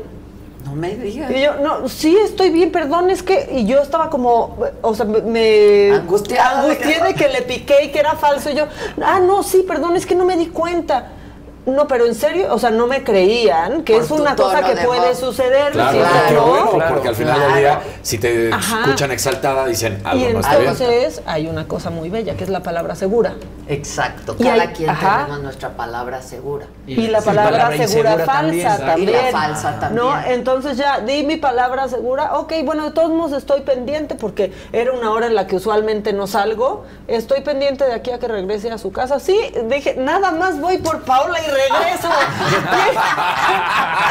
ok, aquí estoy pendiente, gracias. Ya lo Saludos quiero Paola. WhatsApp. Saludos, exacto, saludos a Paola. Oye, es la que verdad. es, es de verdad horrible el terror que se vive en la calle. Yo el sábado también fui a cenar con mi novia.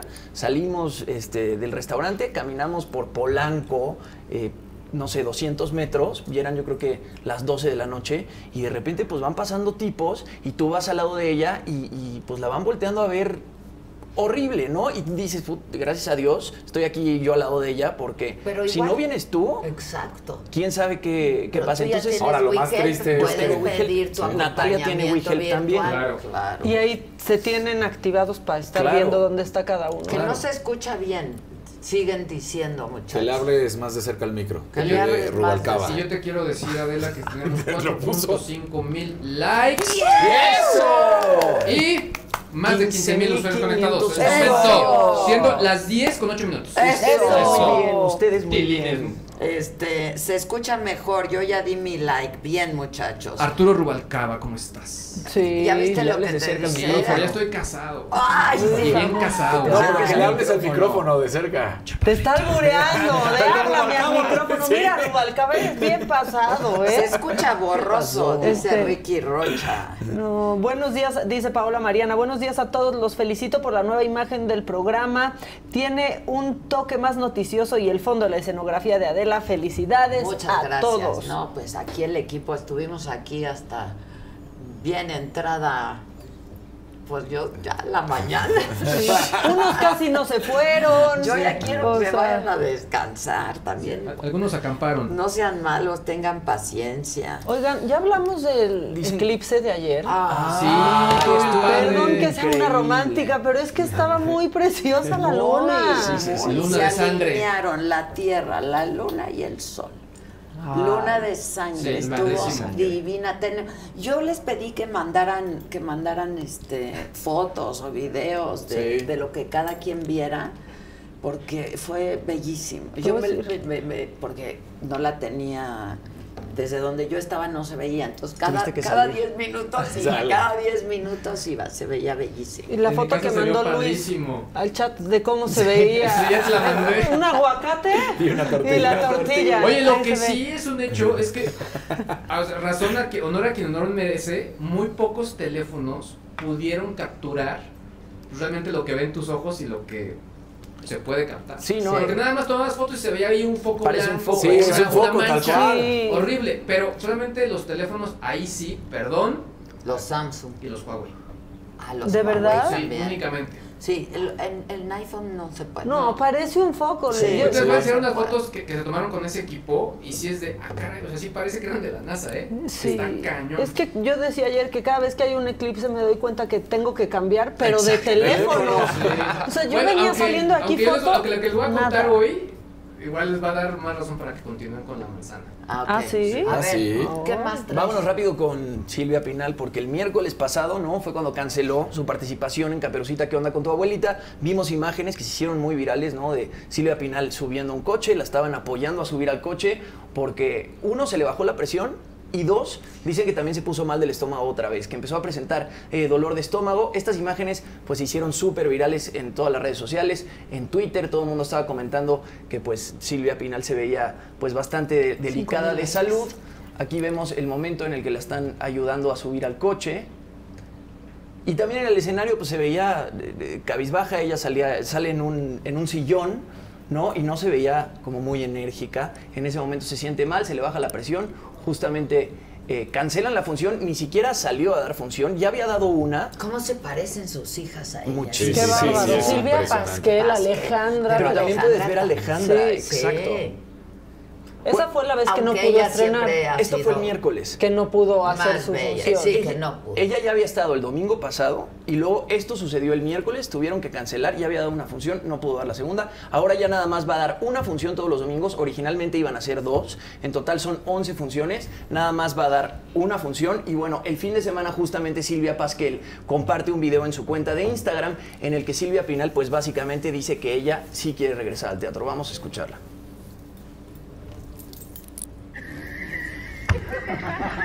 ¿Se está oyendo? Sí. A todos los que quieren que yo no esté en el teatro, No le salió la primera trompetilla.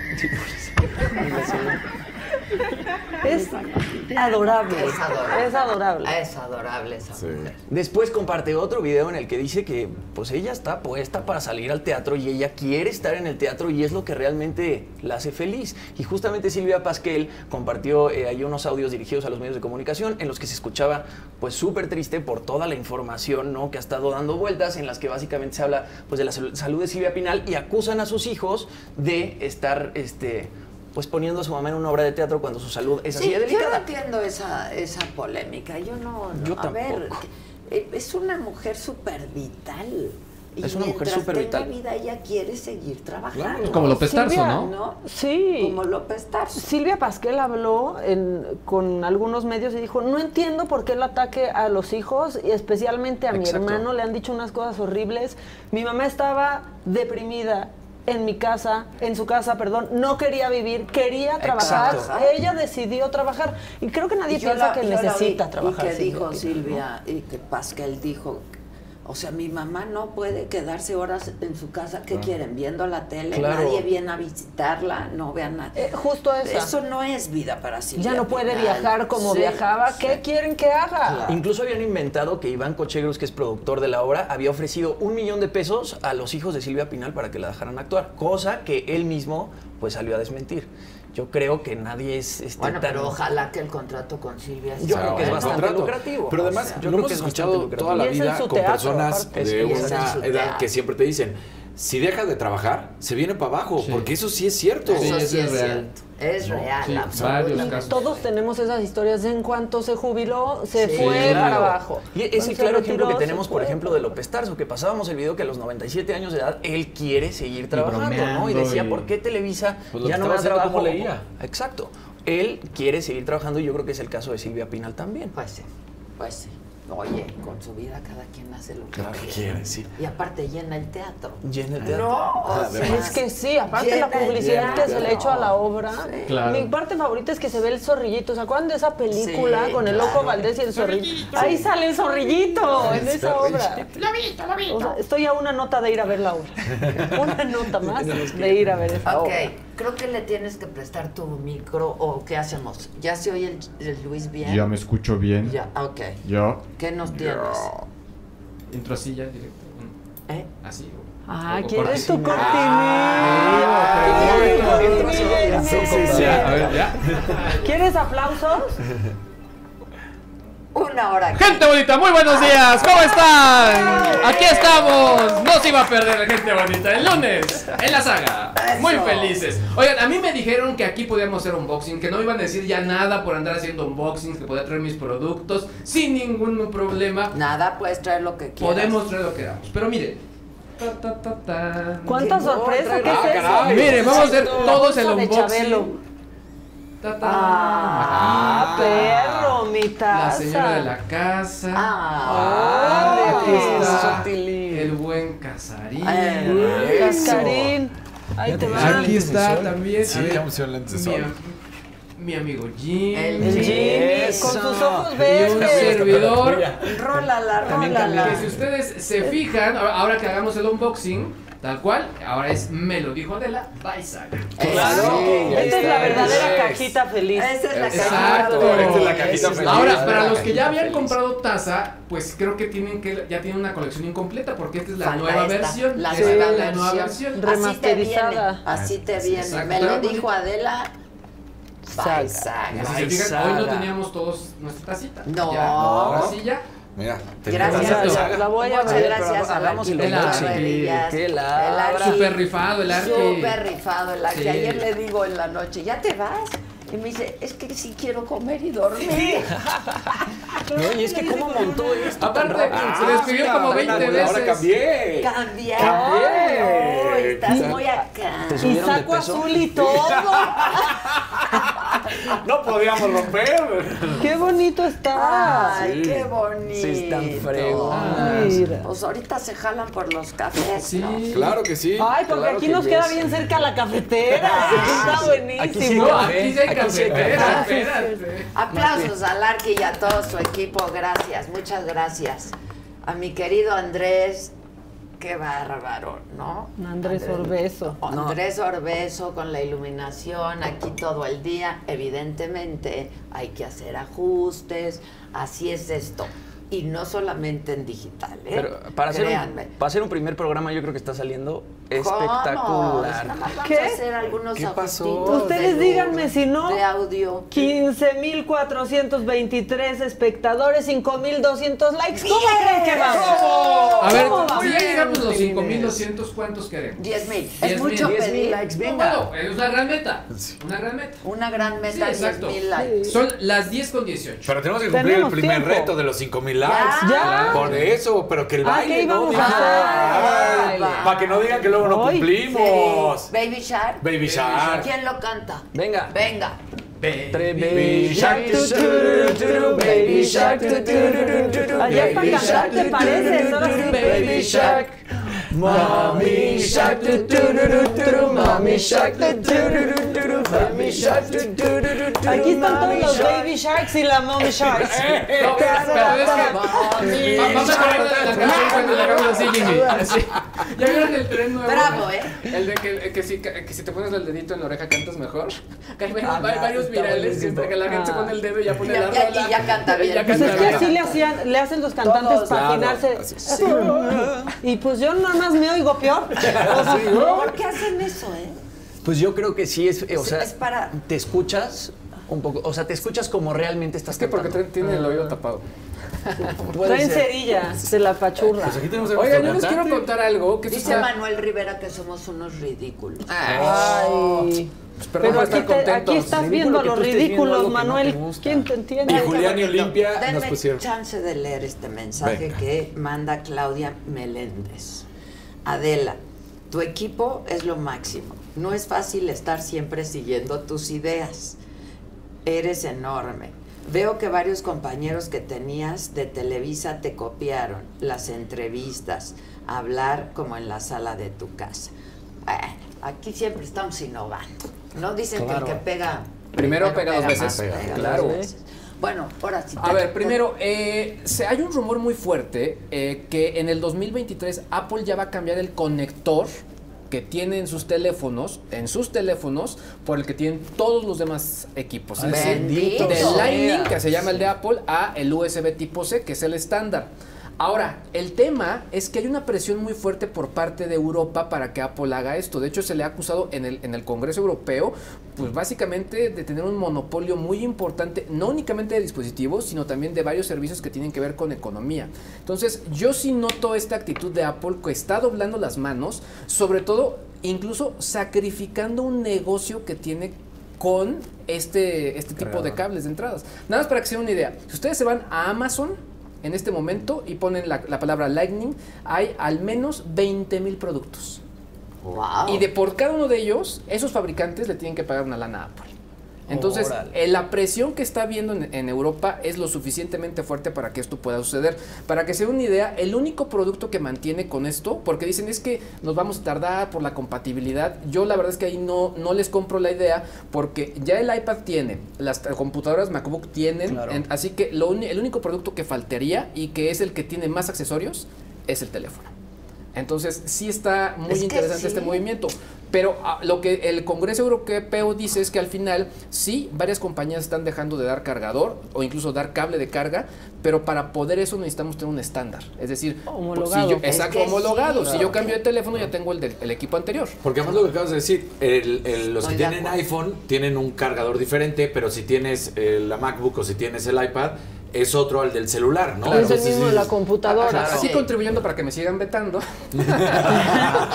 no me inviten, pero bueno. Pues por eso. Pues por eso. Pero es que yo la verdad sí creo que al final Apple, en ese sentido, sí hace, hace una necedad estar con este, con No, este cable. Y, se han pasado en general. ¿Tú te acuerdas cuando comprabas un iPhone? Te venía con audífonos, te Sí. venía con cuadrito, te venía con cable. todo. Ahora trae el cable, no trae audífonos y no trae cuadrito. Tienes que comprar Ahora que hablábamos de lo del iPod, yo recuerdo mi primer iPod. Y me acuerdo que había una gran cantidad de accesorios que ya venían con el producto. Quien me lo vendió, en ese momento era mi, mi jefe Jorge Alora, que le mandó un saludo. Digo, oye Jorge, te- tengo que pagar más por todo esto. Me dice, no, güey, es- es- ya venía todo en la caja. O sea, y venía funda, cargador, accesorio para hacer ejercicio. Todo en el primer iPod. Pero qué bueno que lo van Sí. a homologar, Ah, la neta. Es que sí es una sí, pasadez. Ojalá que sí es una pasadez. ¿Y saben Sí, es pasadez. una pesadez. o sea.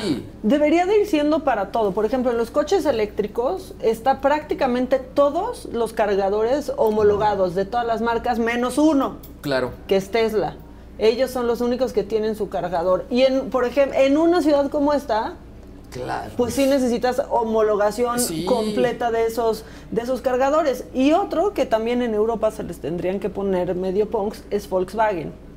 Que tienen un cable, son los únicos coches que tienen un cable especial, una entrada que solo venden ellos ¿Y para conectar tu teléfono. Teléfono. No, si no tienes ese cable, no te sirve de nada. Históricamente los estándares han sido un negocio muy fuerte para las compañías. Por eso, por ejemplo, en su momento cuando fue la batalla Blu-ray versus HD-DVD, eh, Sony lo celebró muchísimo porque había perdido varias batallas de formatos. Entonces aquí sí creo que es una batalla entre todos para ver quién se va a quedar con este formato. Y bueno, les digo, me queda claro que Apple no quería perder como este dominio. Ahora, como digo una cosa, digo también otra, y es que salió una nota, un estudio de los equipos de gama alta que más se deprecian después del primer mes de que los adquiriste. Como los coches. O sea, es muy sabido Sí, que el coche sacas ya el coche de la vale agencia. menos. Claro, vale menos. nada, más, nada más rueda la llantita afuera y, Y ya vale menos. Ahora, por ejemplo, los de Samsung, el Galaxy S22, que es el modelo más actual, en promedio se deprecia el 47% en el primer año. No, No, bueno. Es decir, que si al próximo año yo lo quiero vender, lo tendría que vender En la mitad. 47% menos.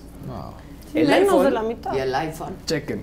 En promedio se deprecia, aquí está, es un 13%. Sí, nada. Nada. O sea, que es el que conviene más. El para mío sí se deprecia porque se me cae siempre. Se deprecia mucho. Y es que el iPhone todavía se ve como un objeto de superlujo, ¿no? Ahora, o sea, eh, comparado con otros Es- exacto, teléfonos. pero mira, incluso el iPhone 13 Pro Max de 128, ni siquiera es el que tiene más capacidad, ese se deprecia 4.7%. O sea, es mucho menos. O sea, es el, es el mejor negocio si quieres revender tu teléfono. Sí, Así. fíjate. Y, le- y- y bueno, y aquí ya también Por lo eso hemos cuando dicho. te los retoman, cuando tú vas a la Apple o cuando Sí. vas, te ¿no? Sí, completamente. Ahora, yo lo, que, lo que sí creo, y se los, los comentaba de cuando, cuando estoy cubriendo ahora eventos, pues sí, Apple ha hecho un gran trabajo, sobre todo para producción. Entonces, para nosotros que hacemos contenido en la calle o estamos Sí. de un momento a otro, se ve muy bien y creo que es una gran alternativa. Y sí, yo sí lo veo como una inversión para, en este caso, los que hacemos contenido para nuestras chambas. La verdad sí está muy bien eso. Ricky Rocha, Y si va a homologar, mejor Me- todavía. Es que sí. Mejor. Y ya se quitan ellos también de broncas con sus cables. ¿No? Que ya ni te los ve- ni te los ponen, los tienes Ahora, que el cable que más se, se friega, el que más se rompe, Es son los de Apple. Sí. Claro.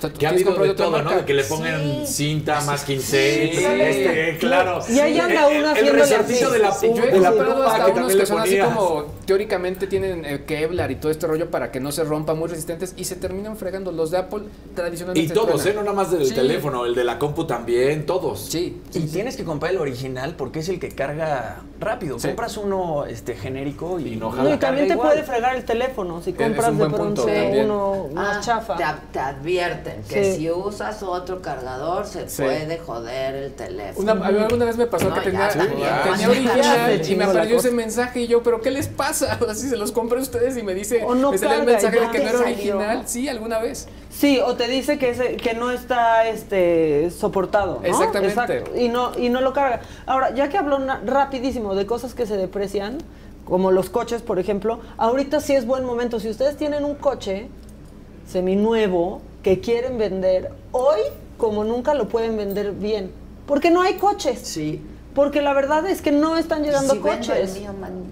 Pues lo podrías vender a- ahorita, lo podrías vender bien. Lo malo es que a ver en qué andamos, porque para que haya otro, podrías esperarte hasta dos meses. Ya. Oigan, y también hablando de, de WeHelp, eh, estamos probando la nueva versión en Android. Pero como tengo el teléfono que tiene la pantalla más amplia, eh, se lo mandé a Carlos y me dice, ah, mira, no está pensada para tablets, pero se ve muy bien. Ah, ok. Se ve súper Se ve cool. padre. Sí, porque se ve el mapa Están mucho más amplio. preguntando por la aplicación, muchachos. Cabina, cabina, están preguntando por la aplicación. Dile a Josué que si la sube, ¿no? Casi. ¿Quieren ver el, el, el video Sí. de WeHelp? Échale. Venga, échalo, el video de WeHelp. Jálense por unos cafés, ¿no? Vamos. Sí, los venenos. Parece Teresa. Sí,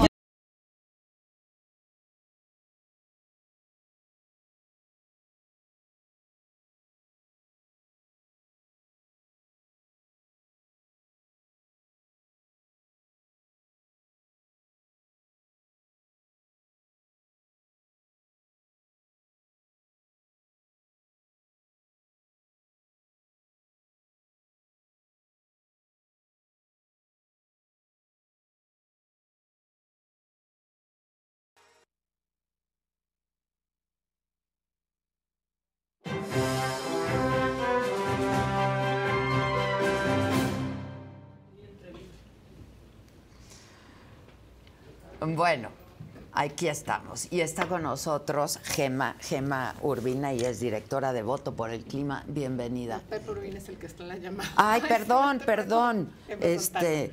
Sí, Gema Santana, No perdón, porque no. Gema Santana y vía telefónica va a estar Pepe Urbina. Este, porque queremos hablar del tren Maya. El viernes un tribunal colegiado confirmó es una suspensión provisional a la construcción del tramo 5, que es el que va de Playa del Carmen a Tulum. A Cancún, sí. A Cancún. Cancún, Tulum. Sí. Cancún, Tulum. Ok. Este, ustedes están trabajando mucho por eso y pues hay quien piensa que alguien les está pagando, que es un movimiento neoliberal. Eh, Gema, ya hemos estado hablando mucho de esto en estos días. ¿Qué quiere decir la suspensión provisional? Es un amparo para que no se construya. Así es. Para, para que no se construya y se cumpla la ley, la ley de equilibrio ecológico. Ok. es prácticamente para- hasta que entreguen las manifestaciones de impacto ambiental, que son las evaluaciones ambientales, el proyecto ejecutivo, la consulta y bueno, también los estudios geológicos. Es que están pidiendo demasiado, demasiado, porque no, los tienen. No tienen O- nada. O, sea, pareciera que no los tienen. No, No, no los hay tienen. un proyecto ejecutivo y entonces conforme van avanzando, van viendo. ¿no? Así es, eso es, eso es lo más terrible. Como no hacen los estudios, ya están destrozando la selva y están pues a unos días, si sigue la obra, que metan pilotes y cemento a los cenotes, imagínate, ¿no? Sería, sería catastrófico. ¿Por qué motivos? Porque, a ver, tú sabes del tema, conoces el tema, no eres una improvisada en esto, ¿no? Has sido una voz muy pública en esto y a mí me gustaría que le explicaras a la gente eh, que no hay nada detrás más que la conservación del medio ambiente y Así de es. estas maravillas que tenemos, ¿no? Pues, así es, Adela. Lo que pasa es que eh, esta administración, digo, a mí me tocó trabajar con el presidente. Eh, hace un año, tres meses renuncié a Palacio Nacional. Yo llevaba la Agenda 2030 para el desarrollo sostenible de este país. Trabajé muchas cosas con gobiernos locales, en temas de medio ambiente, sociedad, economía. O sea, los 17 objetivos, esta hoja de ruta maravillosa que pues diseñamos 193 países en el mundo. Entonces, a mí me tocaba diseñar la estrategia de desarrollo sostenible para el país, pero fue imposible. ¿Por qué? Porque no escuchó al presidente, no escuchó y además yo siempre he dicho, cuando tú quieres saber cuáles son las prioridades de este gobierno, de cualquier gobierno, no importa lo que te digan, velo en su presupuesto. Entonces el presupuesto de medio ambiente, el, el tema totalmente institucional ahorita está en los huesos, o sea, no hay realmente una respuesta de esta administración a priorizar estos temas y el cumplimiento de la legalidad. Eso es lo más preocupante. ¿Qué pasó el viernes? Se volvió a confirmar la suspensión provisional del tramo 5. Porque ya estaba. Porque ya estaba. Pero el gobierno impugnó a Adela este, esa suspensión y simplemente ese recurso de Fonatur el jueves, un- o sea, un día antes de, de este viernes, realmente esa, eso ya, ese, ese recurso se desechó. Entonces los jueces dijeron no, no funciona la impugnación de Fonatur porque están diciendo que tienen un permiso de diciembre para ese tramo 5, cuando el tramo se cambió hace dos meses. Exactamente, Entonces, cambió la ruta. Cambió la Cambió ruta la de ruta. la noche a la mañana. Ok, entonces pues es, es inexistente. Es inexistente. Es inexistente. Es inexistente. Entonces no, no, no, no, no ayuda al proyecto, no nada más del tramo 5, hay que decirlo. En general se están violando muchas disposiciones de- en, temas de consulta este, bajo el convenio 169 de la OIT. Se están este, violando pues, las evaluaciones ambientales que deben de ser. Este, no se conoce el proyecto ejecutivo en su conjunto. De hecho, las evaluaciones ambientales, Adela, deberían de ser de todo el tren Maya y no por tramos. Y no por tramos. Y no por tramos. Está concluido el primero, ¿no? El primer tramo. El primer tramo ya, ya está empezando a tener muchos problemas. Acaba de salir hoy que ya van 100 personas. Lo que- vi en el, en el, es la primera plana del Reforma. Así ¿no? es. Es la primera plana, Pero 100 es- personas que renunciaron. que han estado renunciando a partir del cambio Sí, del titular del de titular. Entonces, y es precisamente porque los están haciendo firmar proyectos este, y cosas que no deberían. O sea, se está aumentando el tren Maya hasta un 60% del sobrecosto también. Entonces, por todos lados, económico, social y ambiental, el proyecto no es viable y tienen que hacer un alto y cumplir realmente con... Y con- rediseñar. rediseñar. Rediseñar, pero con un proyecto ejecutivo. Totalmente, totalmente. Con un proyecto ejecutivo, además ya tienen una propuesta, tienen la propuesta de ONU Habitat para un tren sostenible, pero no, no están haciendo caso. Claro, porque nadie está diciendo que no sea importante tener un tren. ¿no? Exactamente, Por supuesto que es importante. Estamos y a esa favor del ruta, desarrollo, Claro, claro. claro. Nada más, pues sin hacerle daño al medio ambiente, que es lo que tenemos. O, el- o el mínimo, porque la verdad es que como El seres mínimo humanos... posible, claro. Todo el tiempo estamos contaminando, todo el tiempo estamos Pero en ese tramo el peligro es abismal. Ahora, ¿les hizo daño la participación de gente pública, de celebridades, digamos, al movimiento? Eso a mí me preocupa y yo no sé si les ha llegado a preocupar a ustedes, Gemma. No, al contrario. Porque la idea era, claro, amplificar Sí. lo que está pasando, ¿no? Y cómo lo amplificas, pues con gente muy conocida, gente muy querida. Eh, se hace en todos lados, ¿no? Pero que además supongo que ustedes les pasaron toda la información, estaban al tanto, les dieron toda, todo un briefing, ¿no? Para que ellos entendieran que evidentemente hay un daño, o podría haber un daño. Totalmente. Bueno, en realidad muchos artistas y celebridades quintanarroenses nos buscaron porque eh, trabajan de la mano con organizaciones locales en temas ambientales, de agua, de conservación de la selva. Entonces, en realidad fue algo muy orgánico, no, nadie nos está pagando, a nadie le estamos pagando. Esto es un movimiento que empieza en Quintana Roo por los biólogos, por los activistas ambientales y lo que hicimos fue convocar a más celebridades y yo creo que al contrario, nos hizo mucho, o sea, nos hizo mucho bien porque la noticia local le hicimos noticia Nacional. nacional, abrimos la caja de Pandora y de si este me proyecto. apuras tantito hasta internacional, Allá ¿eh? vamos, allá Sí, vamos sí, sí. porque la verdad es que la selva maya es la segunda más importante de Latinoamérica. Y entonces ya la luz está ahí, Exacto. que era de lo que se trataba. Exactamente. Hacer lo que tuvieran que hacer para que aquello no ocurriera. Exactamente. Ahora, Pepe Urbina, a quien tenemos vía telefónica, es, eh, es un buzo y él fue quien interpuso el primer amparo. Así ¿no? es, porque están paradas las obras ahorita. A ver, y lo tenemos en la línea. Pepe, ¿cómo estás?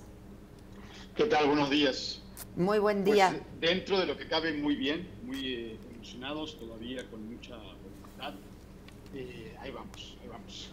Me, me da mucho gusto oírlo y oírte.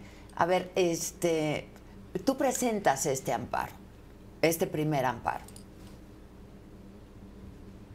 Mira, eh, nosotros somos buzos, soy un buzo de cuevas, tengo 18 años de experiencia buceando en la zona, muy poco sello de leyes. Todos los buzos somos ambientalistas por vocación natural, ¿no? Nos dedicamos a proteger al arrecife, a las tortugas, a los animales. Entonces, eh, los cenotes son una parte importantísima de lo que tenemos que proteger. Cuando se inicia esta, esta construcción del Tren Maya, nos eh, pronunciamos, fuimos escuchados, se cambió el trazo del tren varias veces y de repente cuando esta última vez hacen este cambio tan abrupto, la verdad es que no sabíamos bien qué hacer.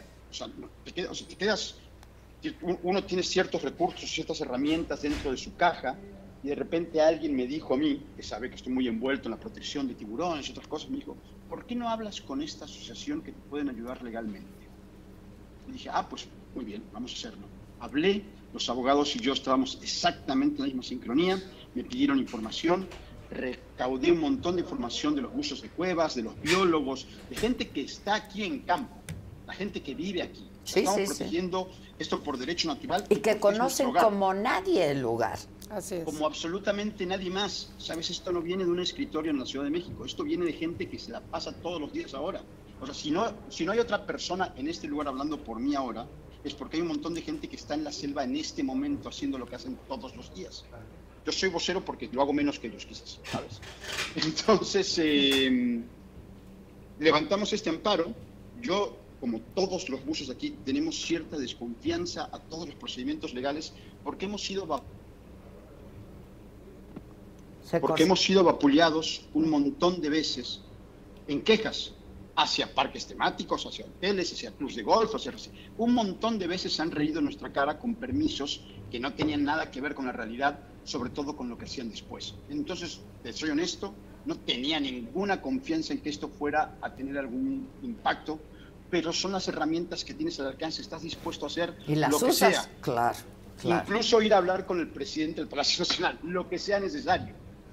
Y eh, el amparo fue una gran sorpresa cuando de repente me dicen el amparo acaba de eh, ser aceptado, tienen la suspensión preventiva. Te puedes imaginar el impacto que fue en nuestra comunidad, porque de repente fue un- una brisa de esperanza, fue como diciendo, "Ah, estamos haciendo las cosas bien, la ley está de nuestro lado, nos están escuchando. Entonces, esta era una oportunidad para poner nuestros conocimientos al servicio de- de- del proyecto, al servicio de la misión. ¿Saben qué? Tenemos que hacer esto, nos están escuchando, vamos a hacerlo de esta forma. Y por el momento eh, no, no hemos tenido muy buena recepción, hemos sido bastante atacados. Eh, y, sobre todo estos ataques son, se desvirtúan en realidad porque, como dice Gema, nosotros no estamos en contra de un proyecto, estamos en contra de que intenten construir un tren en la selva. Porque, y esto, esto es, quiero que ma- marcar la diferencia, que intenten. porque no se va a poder. Nosotros no estamos poniendo una objeción basados en una posición ideológica, una posición eh, política. O por capricho. Por capri- no, Es que además si tú vas a la zona, Pepe, ¿verdad? Si tú vas a la zona de la... O sea, es un tema de lógica. Este, han ido varios senadores, han ido a otros funcionarios públicos, hasta locales. Caminan la zona y te das cuenta, el piso es pedregoso, kárstico. Vas caminando y ves los hoyos y además ves los árboles triturados a un lado. Miles, miles, que eso es también terrible. Terrible. Entonces bajas a las cuevas y, y volteas hacia arriba y dices, bueno, ahí este- se ven los hoyos. O sea, el- el- a veces el grosor es de 20 centímetros, un metro, dos metros. Sea, el riesgo es mayúsculo. Por más que le metan cemento, pilotes, en esa zona del tramo 5 que ha buceado Pepe y muchísimos buzos durante años y han descubierto además vestigios humanos, este, hay también especies endémicas, especies en peligros de extinción, en fin, es, es una maravilla. Ahí cayó el meteorito hace más de dos millones de años. Si le metemos cemento y, pel- y pilotes, se acaba el color de la Riviera Maya y, perdón, lo voy a decir aunque suene muy dramático, Cancún puede morir. Porque de esa agua depende no solo la flora y la fauna, sino toda la riviera, toda la península. Los hoteleros. El eso- desarrollo, el desarrollo de la península. de esa agua, de la que está abajo, y la van a contaminar de una manera desmedida si continúan como están tratando de construir el tren Maya. Por eso tienen que tener un stop. Entiendo la prisa del presidente que quiere construirlo antes de que termine su mandato, pero no nos puede heredar un problema ambiental, económico y social en la península. Eso es lo más preocupante. Pepe. Perdón que te interrumpí, Pepe. No, no, no, no.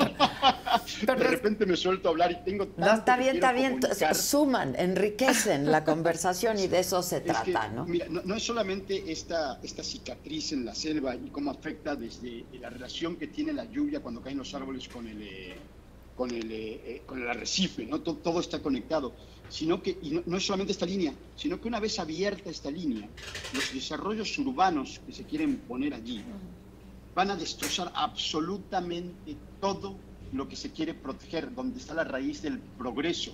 Entonces, si hay algo que nosotros tenemos, es que estamos en favor del progreso, lo queremos proteger. Por favor, escúchenos para que este progreso sea real y no sea solamente un, eh, una palomita en una agenda política. Cumplí, hice esto, y no me importa lo que va a pasar después. ¿no? Eh, tenemos mucha información que brindar. Y tenemos, Gemma lo dice, tenemos propuestas de cómo se podrían hacer las cosas. Bien. Pero, ¿qué pasa? ¿No Ah, los hoy- quieren hoy- escuchar? Pero es que, Qué Adela, lástima que no ahorita pudieron ver estaba al leyendo- presidente, ¿no? Ahorita estaba leyendo que estaban proponiendo que iban a poner puentes arriba de los cenotes para no afectarlos en la selva. No. Eh, eh, Cuando yo leo eso, me da risa y ganas de llorar porque es que no tienen la más remota idea de lo que están hablando.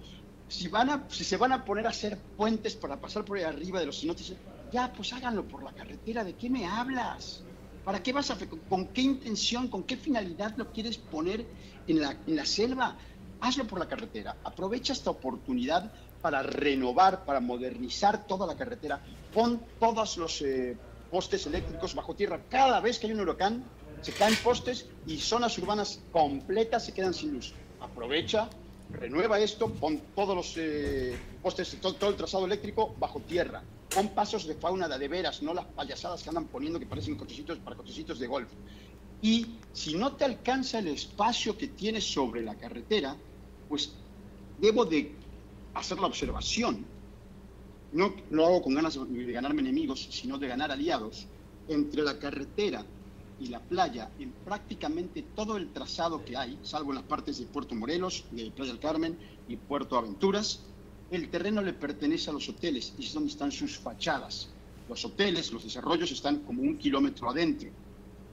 Seguramente el presidente cuenta con los pantalones para que en lugar de andar acosando a ejidatarios diciéndole o me vendes o te lo quito, Eso podría pasado. hablar bien con los señores hoteleros y decir, señores, vamos a poner un tren que esté al servicio de los trabajadores de la población. Este tren va a tener paradas cada tantos kilómetros para que los trabajadores de Cancún puedan subirse y descender cerca de sus trabajos. Que no va a ser una liviane para Sí, ellos. Claro, sería, pero sería si se parara por ahí, y quiero hacer una precisión, Adela. Lo que dice Pepe es dos cosas. Además de que no hay estudios de todo lo que te dijimos, no hay un proyecto de validación del modelo de negocio del tren. No tenemos claridad del tema de las paradas. No, ojalá se pararan los hoteles para que pudiera transportar a los A los- colaboradores. claro. Pero ni siquiera, no se va a parar por ahí. O sea, va a ser un tren que, que se va a ir Cancún directamente a las ciudades más grandes. O sea, no va a ser paradas. Por eso la propuesta era un tema del tren ligero. Pero por más que propongamos todo el tipo de proyectos, no tenemos un proyecto ejecutivo para conocer qué es lo que está pensando el gobierno federal. No hay nada. Yo, yo estoy Entonces- segura que no existe ese proyecto ejecutivo porque pues, lo tendrían que compartir, ¿no? Sí, lo tendrán que compartir, debería estar en las páginas, Claro. y no hay nada. Claro. Esa es, la, esa es como la preocupación. Y la preocupación que acabas de decir en un momento, los ataques que hemos recibido y no están abiertos al diálogo. Ya habíamos visto una luz en el camino de que nos iba a recibir y un día antes nos, nos canceló. Sí, que porque no, no iban a ir ustedes. Exacto. Y el único que no iba a ir era Eugenio, el- el Eugenio único- Derbez. Pero el- a ver, ustedes saben del tema, conocen el tema, llevan años en Pero el iba Rubén Albarrán Sí, también, sí. iba Arturo Islas, o sea, hay muchos artistas este, dentro del movimiento que llevan años en los temas sociales y ambientales y hay otros que les preocupa totalmente el tema de manera auténtica la selva. Entonces yo creo que esto no, las causas no tienen dueño y yo creo que mientras más seamos los que estamos apoyando al medio ambiente en México y sobre todo esta zona, mucho mejor. Pues sí. Pepe, Aquí estoy a tus órdenes. no, esto de los saber. ejidatarios, eh, eh, ¿puedes abundar un poco en este Sí. asunto de los ejidatarios? Sobre todo, Pepe, Mira. la parte, perdón, pe- coméntale Adela la parte de que el presidente ha comentado que por qué no les preguntamos a los campesinos. Entonces yo creo que eso es muy Ah, importante. sí, exacto, que tú yo- lo- sí. sí. Em, no sé dónde ir a buscarlos. No, pues, Porque a los or- Tulum- a- a los Entre Tulum y Cancún Pues no sí, hay campesinos. no hay campesinos, No hay huertas, no hay desarrollos de granjas, Sí, no hay vacas. Sí, Todo el hay. mundo se dedica al turismo. Los cenotes que están 100% allí reciben turistas. Entonces, no sé exactamente a qué campesinos se refiere el señor presidente. Ojalá aceptara la invitación de venir y que me lleve con ellos, con estos campesinos que él dice que lo aman, eh, porque yo no los he encontrado. Los que he encontrado son ejidatarios que, por supuesto, si a ti te ofrecen, como le ofrecieron al ejido, ejido Jacinto Pat, 150 millones de pesos por un pedazo de tierra detrás de los cenotes que tú explotas comercialmente, ajá, gente admirable, gente trabajadora, un lugar precioso, Jacinto Pat, Dos Ojos, por favor, todo el mundo vaya a visitar Dos Ojos, El Misterio, Las Palmas, vayan a hacer un temazcal en Las Palmas, es maravilloso. Ajá. Si a esta gente, por un terreno que está detrás de eso, le ofrecen 150 millones de pesos, pues por supuesto que vas a aceptar, es muy difícil que digas que no. El, el- el error no es de los ejidatarios de vender, el error es del gobierno que quiere destrozar lo que compraron. Sí, a ellos, pues si les, si les compran la tierra y bien, la van a vender. Y aquí el asunto también es, es que, ¿por qué a ellos les dieron 150 millones de pesos? ¿Y por qué el ayuntamiento de Playa del Carmen prácticamente regaló tierras similares? ¿Por qué? Perdóname, pero si se iban a vender, ¿por qué no se, o sea, se aceptó una cantidad de, dinero similar para utilizar ese dinero en crear drenajes, en manejar el sargazo, en, en cosas realmente vitales, ¿no? Hay, hay muchas áreas grises que no son de mi competencia, que no, que no, que no encajan. ¿Sabes por qué a estos campesinos les dieron a estos campesinos, estos les dieron tanto dinero y a estos otros no? Porque no tiene ningún sentido. Aquí hay que empezar a pensar cuáles son los verdaderos motivos a los que se obedece para crear, para destrozar la selva y crear un desarrollo allí. Porque el otro día escuchaba a un inmobiliario, una persona que se dedica en la inmobiliaria, y las palabras que él decía de desarrollo eran exactamente las palabras que uno podría utilizar en un juicio en su contra. Él decía, claro, es que hay que construir allí el tren para poder desarrollar y poder construir. Y es precisamente lo que no queremos. Sí, claro. Y no queremos- claro. y no queremos no Juegan porque- su, con su propia contra, claro. Y no queremos no es que porque es, no es estemos de Lex acuerdo Luthor con el explicándole a desarrollo. Superman por qué va a ser el héroe. Sino porque el No atractivo de la sentido. zona son la selva y el agua, ¿verdad, Pepe? O sea, los cenotes, la gente va para estar eh, con la naturaleza, con todo lo que provee los servicios del medio ambiente, la selva, los cenotes, los ríos, el color de la península. eh, ¿Has, has ido a o sea, eso es lo que vende, eso a es, para eso está la península. No, no he ido, no he ido, Pepe. Ok, necesito que vayas Voy a ir. para que Sí. lo veas. Sí, Me sí, quiero ir. un cenote. Necesito que vayas para que lo veas porque la gente de repente no comprende lo que es. Yo no entiendo. El otro día hablaba con un, chavo que estaba cuidando las máquinas ahí donde están detenidos los trabajos y el chavo no tenía, no había snorkeleado en el mar en su vida. Entonces la gente no entiende qué es lo que queremos proteger. Es el acervo cultural arqueológico, que todo, la gente del INAH tiene todo mi respeto, el acervo paleontológico de restos de humanos de más de 10.000 años de antigüedad y el, el agua, el Sí, agua no, que bueno. bebemos y que nutre el arrecife. Eso es lo que queremos proteger. Sí, es una tristeza y podría ser una tragedia. ¿eh? Eso es también muy preocupante. Exactamente. Podría ser Muy una- y de porque aquí se a puede pelear caer. juntos por todas las demás tragedias que se tienen que evitar y se tienen que corregir. El señor presidente tiene razón. Se hicieron un montón de cosas mal. Vamos a corregirlas, no a empeorarlas. Claro, ¿para qué seguir por donde... Exacto, se vale equivocarse, se vale rectificar. Estamos a tiempo de rectificar. Claro, Estamos a tiempo. Y luego además Adela, Pepe y yo entregamos, el día que nos cancelaron para, eh, para llegar a presidencia, al día siguiente entregamos este documento que se lo entregamos a Oficialía de Partes, donde viene toda la información que sustenta por qué el proyecto como está ahora no es viable y lo que estamos pidiendo. O sea, viene todos los detalles, de verdad, desde el posicionamiento que hicieron todos los científicos de la UNAM, preocupados desde hace tres años, porque esto no es de ahorita, Sí, desde no, hace no, tres años, Lo sobre el dijo Tren en, en campaña incluso, ¿no? Y eh, todos los académicos de la UNAM, biólogos, espeleólogos, este, ambientalistas, este, en fin, presentación de lanzamiento de la campaña. ¿Por qué hicimos la campaña el 22 de marzo? Pues porque a nadie los escuchaba, a los locales. Porque iban los titulares, perdón, ni siquiera ha ido el titular de Fonatura al tramo 5. Ya ves que dijo hace poco que fue al, al tramo 1, 2, 3 y 4. Sí, al pero tramo al cinco cinco no fue. No, no ha ido al 5 y le estamos insistiendo que vaya.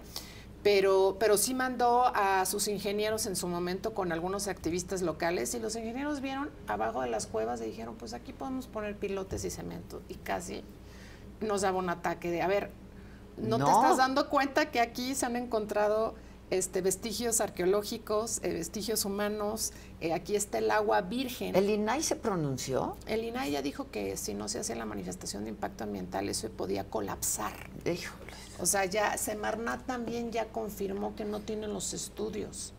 Entonces, ahorita lo que hicimos fue eh, con esta campaña del abrir la, caja de Pandora, no le gustó al presidente, no le gustó a muchas este, personas que están a favor de la 4T, pero esto no es en contra de la 4T, esto lo haríamos con cualquier gobierno que viole la ley y que no cumpla sobre todo la ley de equilibrio ecológico. O sea, lo haríamos con cualquier gobierno. Sí, no tiene nada que ver con Esto eso, es a una preocupación real. Ilegítima. Legítima. Ilegítima de gente que vive ahí, ¿no? Totalmente. Que, que está ahí. Totalmente. Pepe, te agradezco mucho. Te mando un abrazo y súper acepto la invitación, si es que es invitación. Ya sabes dónde encontrarme, por favor. Ya está. toda la banda, a todos los que quieran venir. Exacto. Y aquí les, eh, se, lo- se van a divertir, es, es increíblemente precioso. Sí, lo es. Gracias, te mando un abrazo. Muchas gracias. Gracias.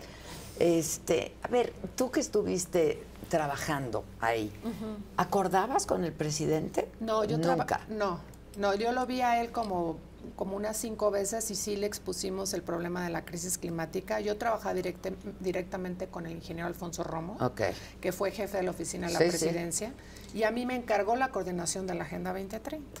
Tú te vas cuando se va Poncho. No, me voy tres meses después. Después, ok. Tres meses después. Entonces, lo que hacemos, Adela, en- con, yo en varios foros y al presidente le dije, nos preocupa el Tren Maya, nos preocupa Dos Bocas, nos preocupa Sembrando Vida, porque muchos de los proyectos no, te- no quedaban claros de cómo iban a afectar eh, negativa o positivamente a los objetivos del desarrollo sostenible. Este, y siempre tratamos de entregarle todos los argumentos. Pues no escucho, no escucho como, pues no escucha muchas veces, eh, pero de verdad todavía creemos que puede rectificar, porque la verdad es que si él piensa que por el bien de todos, primero los pobres, si no priorizamos los ecosistemas, si no priorizamos todo lo que nos brinda el medio ambiente y cumplimos la ley, pues no va a haber primero los pobres. Va- vamos a aumentar la vulnerabilidad precisamente a las personas más vulnerables de este país. Sin duda. Y yo insisto, ¿eh? puede derivar en una catástrofe. Totalmente. Y en una tragedia. Nomás por el tipo de piso. Exactamente. Es cárstico. E- e- Exactamente. Es cárstico, es como pedregoso. poroso, pues. Totalmente. ¿No? Totalmente. Bueno, pues vamos a seguir hablando de esto. ¿Qué sigue? Adela, muy buenos días. Estamos Pues siguen aquí una serie de amparos, de vienen más amparos. Yo creo que Nos salen encontramos entre hoy en y mañana más amparos para el tramo 5. Estamos pues también preocupados y lo tengo que decir por atención también a las organizaciones locales que están preocupadas que se está militarizando la zona.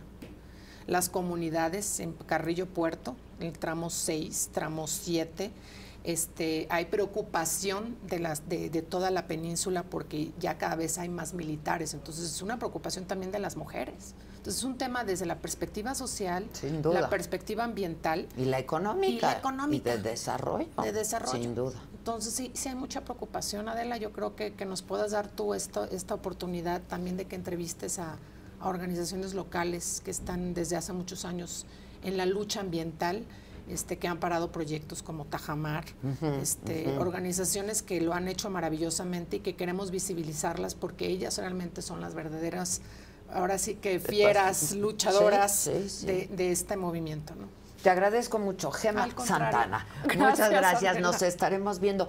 Por- deberían de hacernos un videíto y mandarlo y lo subimos y todo lo que tengan. Tenemos mucha información, se las pasamos Sí. y vamos a hacer uno más actualizado con todo esto. Ya estás. Vale. Gracias, Gema. Gracias a ti. Muchas Adela. gracias. Gracias a ti. Bueno, vamos ahora afuera del tren suburbano, en la estación Buenavista, está mi queridísimo compañero Jonathan Padilla, en una sección que justo inauguramos el día de hoy, junto con este pues estreno, fue un cambio de locación, ¿no? Este, la esencia, el origen es el mismo, pero estrenamos esta sección con Jonathan, díceselo Adela.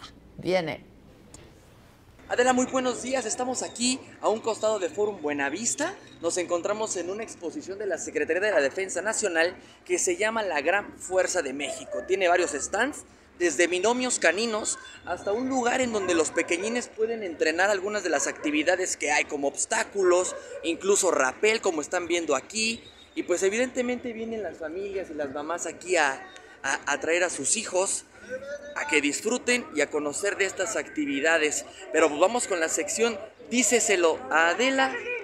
Señora, usted trajo a su hija, está en vivo con Adela Micha, usted. Ay, aquí, mira, aquí está, la van a meter. Hola, Adela. Felicidades. ¿Cómo es tu programa? Aquí están los fans, díceselo a Adela. A ver, ¿qué le quieres decir a Adela? ¿Algún saludo? Ay, un saludo para todos, claro que sí. Siempre nos gusta ver este, lo más cabrón. Lo Ah, lo macabrón. Lo macabrón. Ahí lo está macabrón. Maca también, está Maca, Luis, está Daniel, Jimmy. Jimmy, un saludo para todos. Te adoramos, Adela. Somos fans.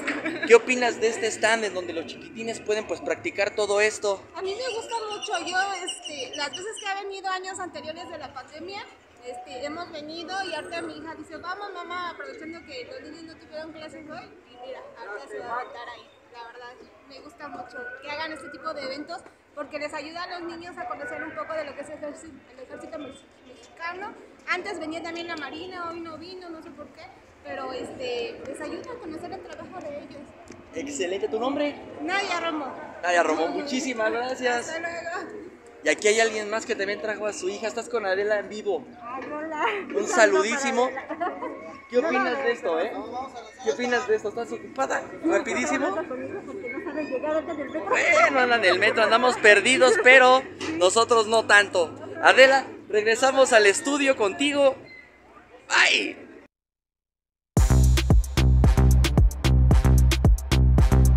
¡Bravo! ¡Jonathan!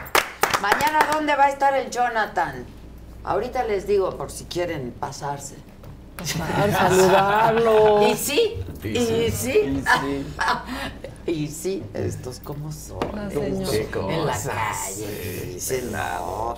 Este, por aquí Bien, alguien decía, qué horrible programa. ¿Y qué haces aquí? Exacto. Exacto. Sí. La Ofelia Escobar, grande. qué horrible programa y nos pone bien.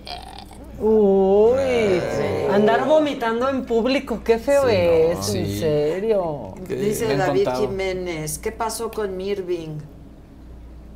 ¿Cuál Irving? ¿Cuál Irving, ¿Cuál compadre? ¿Cuál ¿Cuál Irving? Irving? Dicen muy bien Jonathan Padilla. Muy claro. bien. Uy, ese Bravo Jonathan es una joyita. Van a ver lo que voy a hacer de O Jonathan sea, Padilla. Jonathan Van a ver. Adela, Maca, Luis, Daniel, Jimmy, todo el hay equipo les deseo lo mejor en esta nueva etapa para todos. Aquí les continúo siguiendo. ¿Quién Mucho dice? éxito.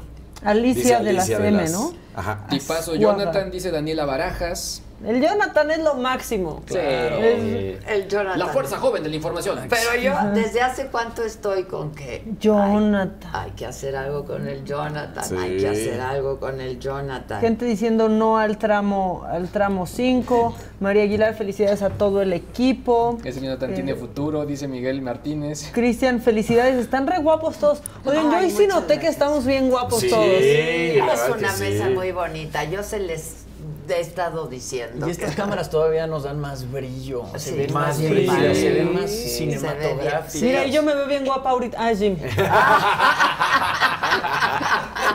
Ay, Jim, re- retiro lo dicho. Ay, ay, Ahí Jimmy se ve bien guapo. este- Jonathan tiene redes, sí, ahorita les paso el Twitter del Jonathan para que Dicen lo por aquí, sigan. cilantro y perejil son reporteros del Heraldo. Jonathan Sí. dice el pasote o qué. ¿Cómo le Sí, ponemos? le El pasote? Jonathan. Fabiola te dice, Johnny Adela, Boy. Pues que felicidades por tus cinco años con Saga y hoy con esta nueva etapa de Me lo dijo Adela. Ay, muchas Eso, gracias. cara. ¿Quién Fabiola? Fabiola Fabiola, muchas gracias, Fabiola. Oye, Verónica del Carmen dice, traen un brillo. Traemos un Gracias. Brillo. Y luego que se les hace tarde para trabajar, que, que urge un, un relojito ahí. Espérense, luego ponemos el relojito. Claro. aquí no, Exacto. aquí No.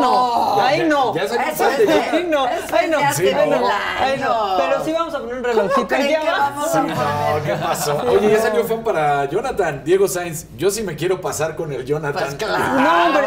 Y tiene una sonrisita en Es precioso Jonathan. el Jonathan. Sí, la neta, sí. Y, y van a ver lo que se va a hacer. Adela siempre ha dicho, es que es bonito, ese niño es muy bonito. Tiene mucha ondita, es bonito y aparte es inteligente. Y es a mí me encanta. y es- sí. Dice Sí, aquí sí, se ven bien iluminaditos. Jocel- Jocelyn LG. Sí. Dice Micha, la estamos rompiendo, chinga. Felicidades. Hay que hacer caso a los comentarios y críticas constructivas y poco a poco será perfecto Así como lo que haces. Regresen Claro. los incidentales. Jo Sánchez. sí, claro. sí, sí, Sí. también. Todo eso va a pasar. regresar. Todo eso va a pasar.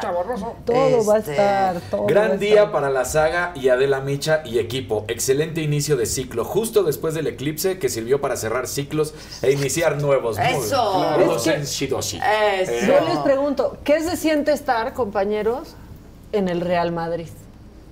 Y déjense la América. O sea, hasta Pumas, el Real Madrid. Oye, alguien dice, alguien dice por, a Claudio M dice, Saga, la competencia de Letrinus. A ver, a ver, a ver, a ver, a ver. Ahí sí. Me van a disculpar, yo no sé si se refieren a latinos, supongo que sí. Saga comenzó antes, mucho antes que latinos, ¿eh? Así es que a mí no me digan que somos competencia de nadie y cada quien tiene propuestas distintas y agendas diferentes, ¿eh? Exacto. Se les dice, se les dice. Oye, palabras del eclipse, nada más. Soltar, cerrar y fluir. Ajá. Bien, ¿no? Cerrar y fluir. Alguien me preguntaba, Híjole. ¿cuándo sales del Heraldo? ¿El viernes? ¿Cuándo comienzas con las...? El lunes. El lunes. Ay, todos. ¿Pero cómo? ¿Cómo? Pero así. Rubén Rodríguez dice, Adela, te ves bien sabrosa. Ay, muchas Ah, sí. gracias. Y la verdad, ¿Cómo lo sí. Casarín? Pues así se lo escribió, Sí, o sea, Casarín lo quiso hacer muy... es que como él quería ser actor, lo hizo. O sea, como que lo, lo hizo suyo. Saludos, Beba Andújar. Pero Eva a la vez dice, estoy en medio de una presentación, solo pasé a saludarles, buena suerte, los veo más tarde. Saludos a los cuatro fantásticos y a la Mujer Maravilla. Eso. Wonder Woman. es momento de pedir otro jalón de likes. Sí, porque a los 10 mil creo que me fui No, muy, alta, Pero mis 6,000, metas... 6,600. Ah, Sí, está. o Y mis sea. metas siempre son altas. Ay, es Ah, que Sí, como debe de claro. ser, ¿no? Siempre. Entonces, ¿por qué no una lluvia de likes, ándenle? Sí, lluvia de likes. Con que lleguemos a tírenle 8. like. ¿Eh? A 8 antes de que acabe el programa. Y ya va a acabar, ¿eh? O sea, Sí. a 8. La Estamos fuerza informativa cerca. me la dijo Adela, ya está comunicándonos que el día de mañana Jonathan estará en el mercado de San Juan, es decir, Fernando Bedoy, me estoy refiriendo, él es la fuerza Exacto, la informativa. fuerza me lo- informativa de Fernando, Fernando Pero, Bedoy. pero bueno, estará mañana en el mercado de San Juan. Mercado de San Juan va a estar el Jonathan, así es que quieren conocer a Jonathan, jálense al mercado de San Juan. Andaré viendo lo de los aguacates. A ver qué nos. Sí, trae, que diga ¿no? cuánto está el kilo de aguacate. limón, el limón. el limón. El perfume más caro. El perfume más caro es el de Este, limón. Sí. ¿Qué otra cosa? Bueno, la carne también El anda pollo, ahí. su- El, bueno, pollo bueno, Si subió. compras el pollo completo, es más barato que comprar por pieza. La pechuga. Sí, la pechuga, Sí. o la, La pechuga. milanesa, todo. Perdón, comentario de señora, pero así. Sí, que le mandemos un saludo a Gerardo Bringas. Saludos. Saludos, Gerardo. Almalia. Lacunza, ¿ya la leyeron? Les deseo lo mejor en su nueva etapa. Adela, eres mi Max. Te sigo desde Big Brother. Dos Saludos a todos. Mauricio Esparza, mi Adela no tiene competencia con nadie. Es una ricura y muy inteligente. Maca, tienes un mensaje, dice aquí Tamayo ¿Qué dice? Yu- Yuridia, dice, Maca, dile a mi esposo Disculpe. que yo siempre seré quien apachurre las cucarachas y que viva tranquilo. Ah, ok. Que le diga a su esposo que ella le va a apachurrar la cucaracha. Exacto, básicamente. ¿Qué dijo? ¿Qué, qué? Ella te va a apachurrar la cucaracha siempre. Diga Oigan, bien el mensaje. Magdalena mandó un rosita. Ay, rosa. Bien. Oye, dice aquí Gerardo Bringas, Adela, mándame un saludo, si no, me muero. No, no, Gerardo. que ¿Qué no. hacemos sin ti? Bien extremo. ¿Estamos en review? Exacto. ¿Qué hacemos sin ti? Alicia dice, está precioso el lugar, la escenografía está súper linda, felicidades, excelente nuevo momento.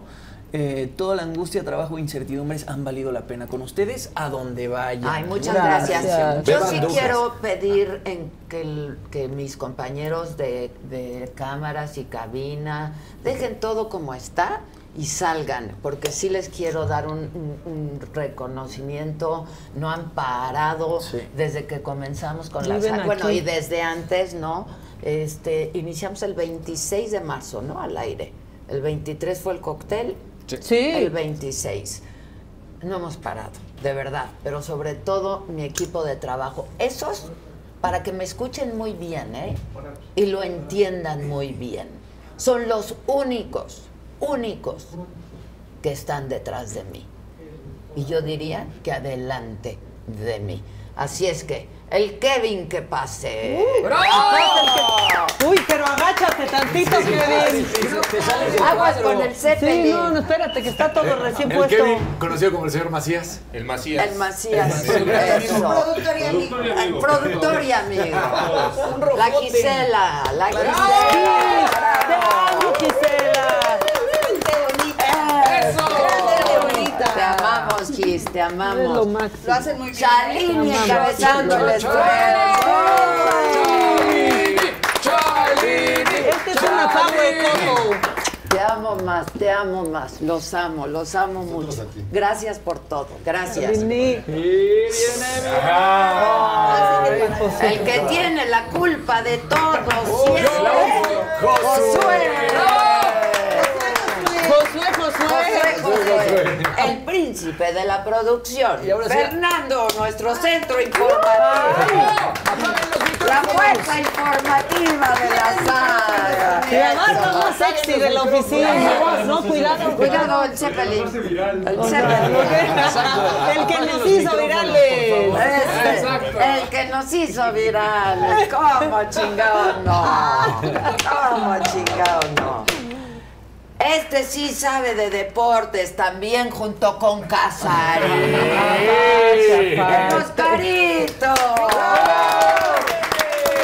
El que pone los mejores, los mejores supers del Los mundo. mejores supers. Gracias, gracias por todo, Oscar. Los supers, esos son los mejores. Mi queridísimo, el que me da de fumar.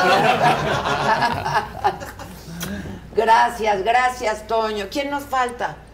¿Quién falta? Susan, que está. Raúl. Susan. Que está- Raúl que está Susan, editando. Susan que se rompió Maldita la lisiada. Pero a ver, la maldita lisiada. Su, te tomaste muy en serio el break a leg. Sí, sí, sí. ¿no? O sea, Pero nos va a dar suerte. Muy en Falta serio. Melina y Jazz también. La Melina y Jazz, ¿dónde están? Que son le cerramos la cortina Artista. para que no se. Somos la banda El Recodo. Pero, ustedes no lo van a creer, pero así chiquito, chiquito que está esto, se hacen grandes cosas y tienen su área de retoque. De retoque. Pero sin foco.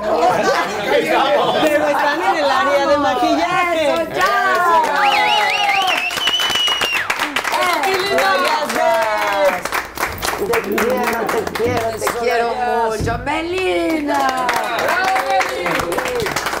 Cuando estás con Melina, dicen que estás en buenas manos. Ay, sí, ay. Porque tiene- A menos que seas el Zeppelin. O que dice, no, que tiene buena mano. Eso dicen. Ah, sí, eso. Eso es lo que dicen. dicen.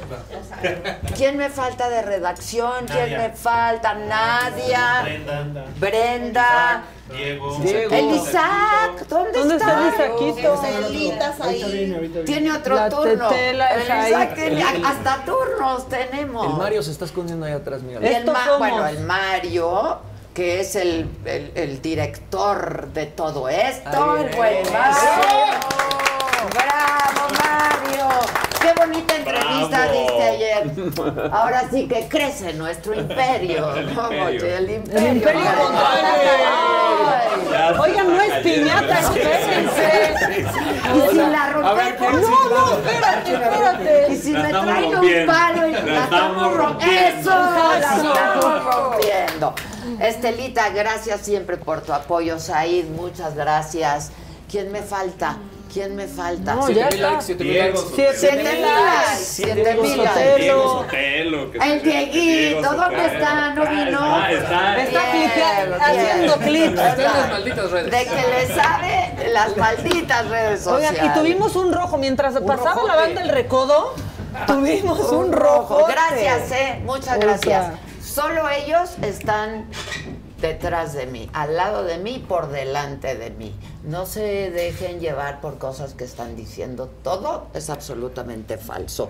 Consuelo Velarde, ¿quién más? Mira, el rojo dice, un rojo para la buena fortuna, aprovechando la luna de ayer. Enhorabuena para todos y a romperla con todo, como todo lo que haces, Adela. Ojalá algún día podamos coincidir, sería un deleite. Ay, Es sería un deleite. Y deleite para mí ha sido trabajar para mi hija. Porque yo trabajo para mi hija, que es la productora de pues todo esto que ven. Estoy muy orgullosa de ella, muy orgullosa de ti, nena, porque seguramente me estarás viendo. Eh, estoy bien orgullosa de ti. Te la has rifado sin dormir, sin comer, eso no me gusta, pero tienes que comer, tienes que... La No mamá, puedes esa es la- estar así. la mamá, ¿no? Tienes que comer, tienes que dormir, escúchame bien. Y el apoyo de mi familia siempre, así es que gracias, gracias y de todos ustedes, por supuesto. ¿Alguien tiene algo que agregar? Porque si no, no les quitamos más su tiempo Y nos y vamos. nos vamos. Nada más decir, cuatro mil votos dijeron que sí le ayudaron a la Mayreca. Ahí está. Cuatro mil Cuatro mil. votos. Frente a... O sea, El mío incluido, Era el el mío 70%, o sea, fueron del 70% de los 4 mil votos, fue que sí a favor. Ajá, exacto. O sea, no te da, or- solo di- no te da orgullo, no, es una victoria que digas, ay, ganamos. lo No. No, hay, hay- hay victorias que se celebran, otras que no. Se Pues sí, observan. Esa no, esa es una victoria Oye, rica. le rápidamente llaman. los trending topics, eh, los más importantes. Búfalo, ya lo comentamos. Híjoles, qué tragedia. Qué tragedia. Horrible, no, muy- hay muchos, eh, digamos que elementos ahí, esquinas que hay que, que contemplar. Muy triste. En fin, en la parte deportiva, Tigres eh, pasaron a la siguiente fase. Eh, entretenimiento BTS History Makers, porque el grupo BTS, que siempre Ganaron tres premios Billboard y este, así superan a Destiny's Child, que eran los más ganadores en los premios Billboard. BT está muy cañón. Está muy cañón. Sí, sí, sí, Están quiero ser co- como ellos cuando sea grande. Y finalmente, todo. Eclipse Lunar, obviamente sigue siendo ropa. trending topic por eh, lo que estuvimos comentando el día de ayer, la luna de sangre. La Luna luna de de sangre. sangre, bellísima. Oye, y hubo Y golpes, sí, ¿no? es lo que te voy a decir. Los grupos de animación. Se acabaron las barras. Pero los grupos de animación a toda madre, ¿no?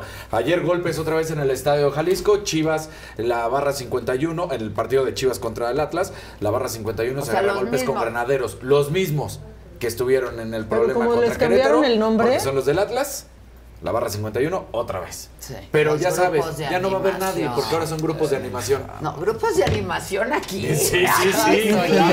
Y en el chat, porque nos dicen unas cosas bien lindas. Y que no nos vayamos mira, que hasta las 12 dándose que nos con todos los esperemos. granaderos. Ahí están dándose con los granaderos.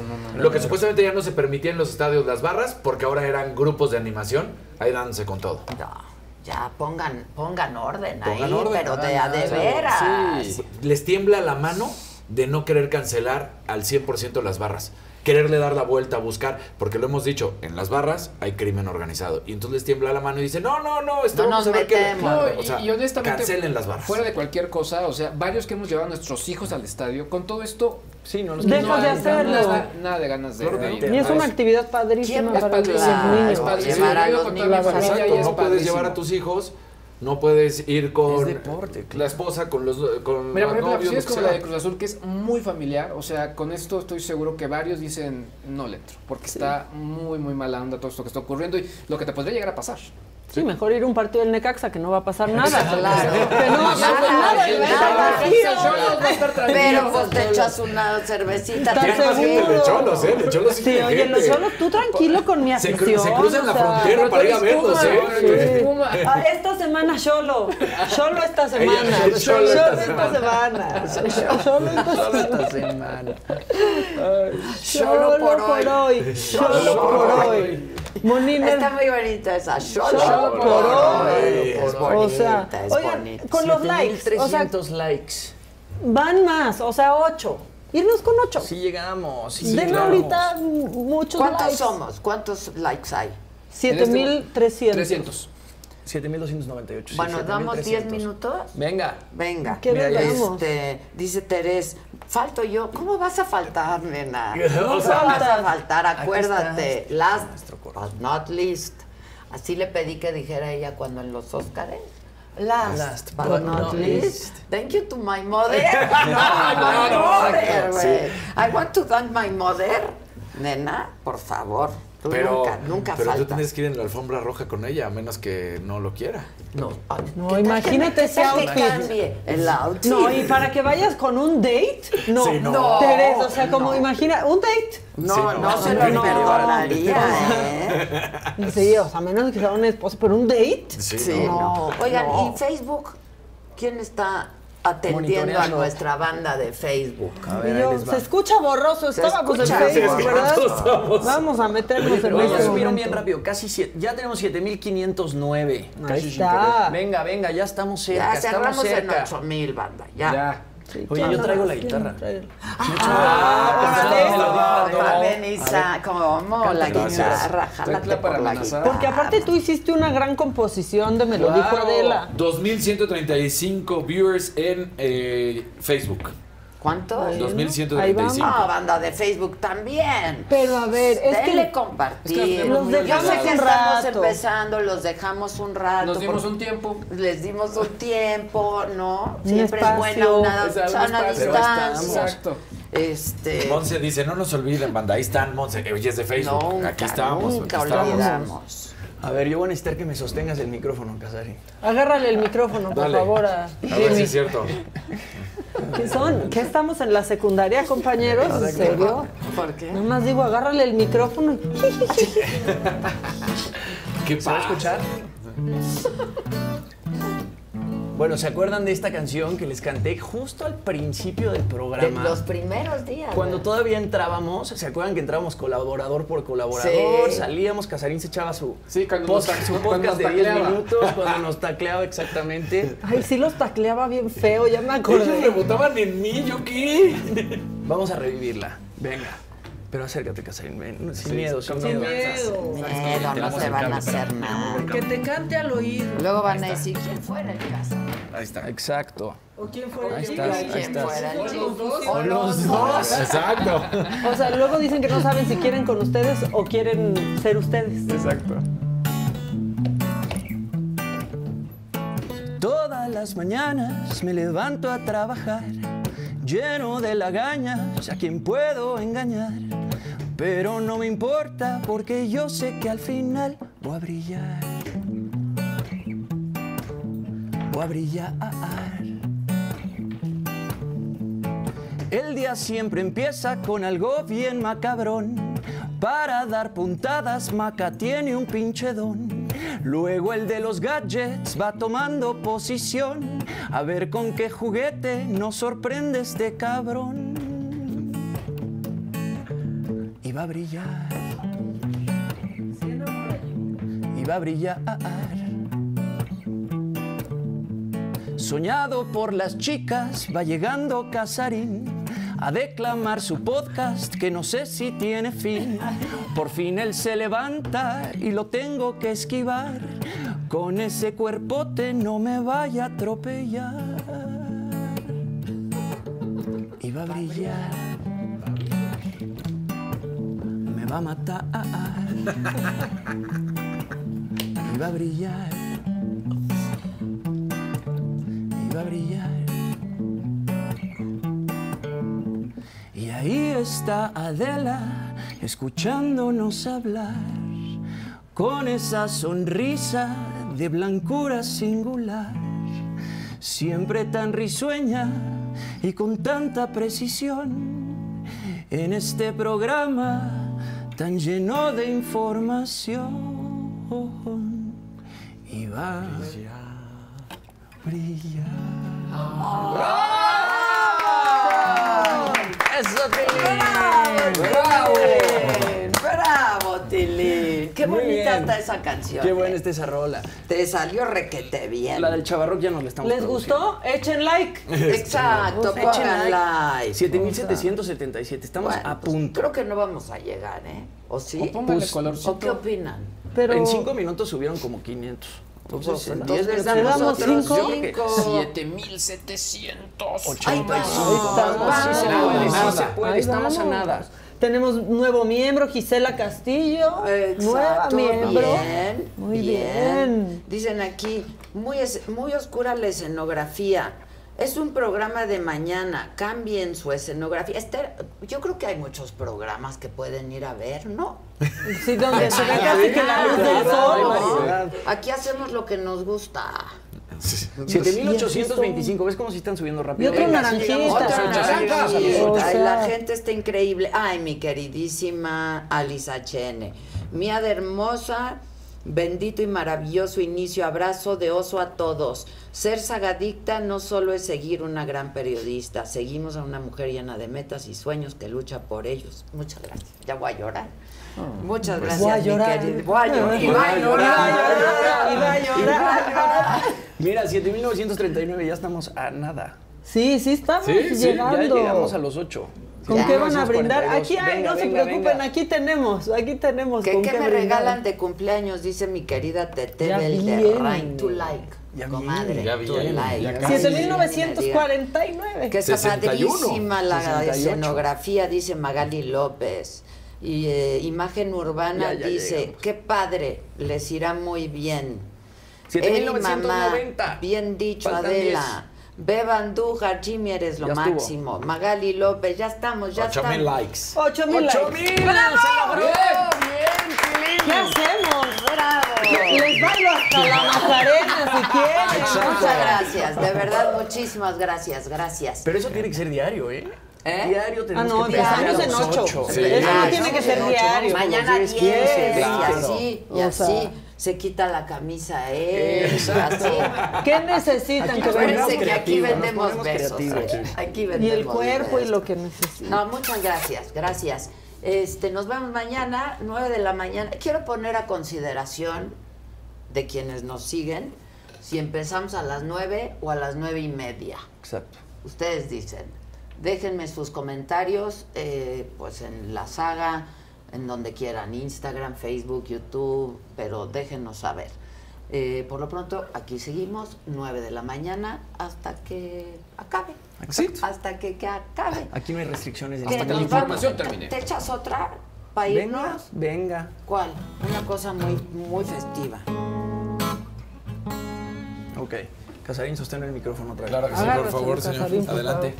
Échale. Hoy te escribo, hoy te escribo esta canción. Aquí traigo el capo. Aguántenme, denme dos segunditos. Dice aquí. Ay, Acá que nueve, unos 999, otros 9 y medio, te Rosita, 999. Se está Eh, moviendo mucho el chat. quiero y que en todo el mundo entero Sí.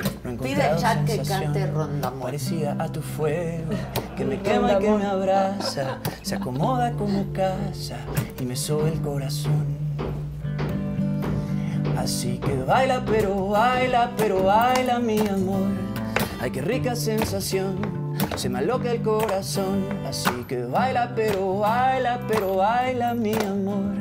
Ay, qué rica sensación, se me aloca el corazón. que aquí yo te digo que tú eres la belleza que me mantiene vivo. Eres lo primero que me viene a la mente, la razón por qué disfruto del momento presente. Ven que aquí yo te digo que tú eres la belleza que me mantiene vivo. Eres lo primero que me viene a la mente, la razón por qué disfruto del momento presente. Te canto esta canción porque tú eres diferente. Yo te veo entre la gente y tú sales del montón con tus miedos y verdades y tus inseguridades que desde mi perspectiva son un cuento de ficción. Así que baila, pero baila, pero baila mi amor.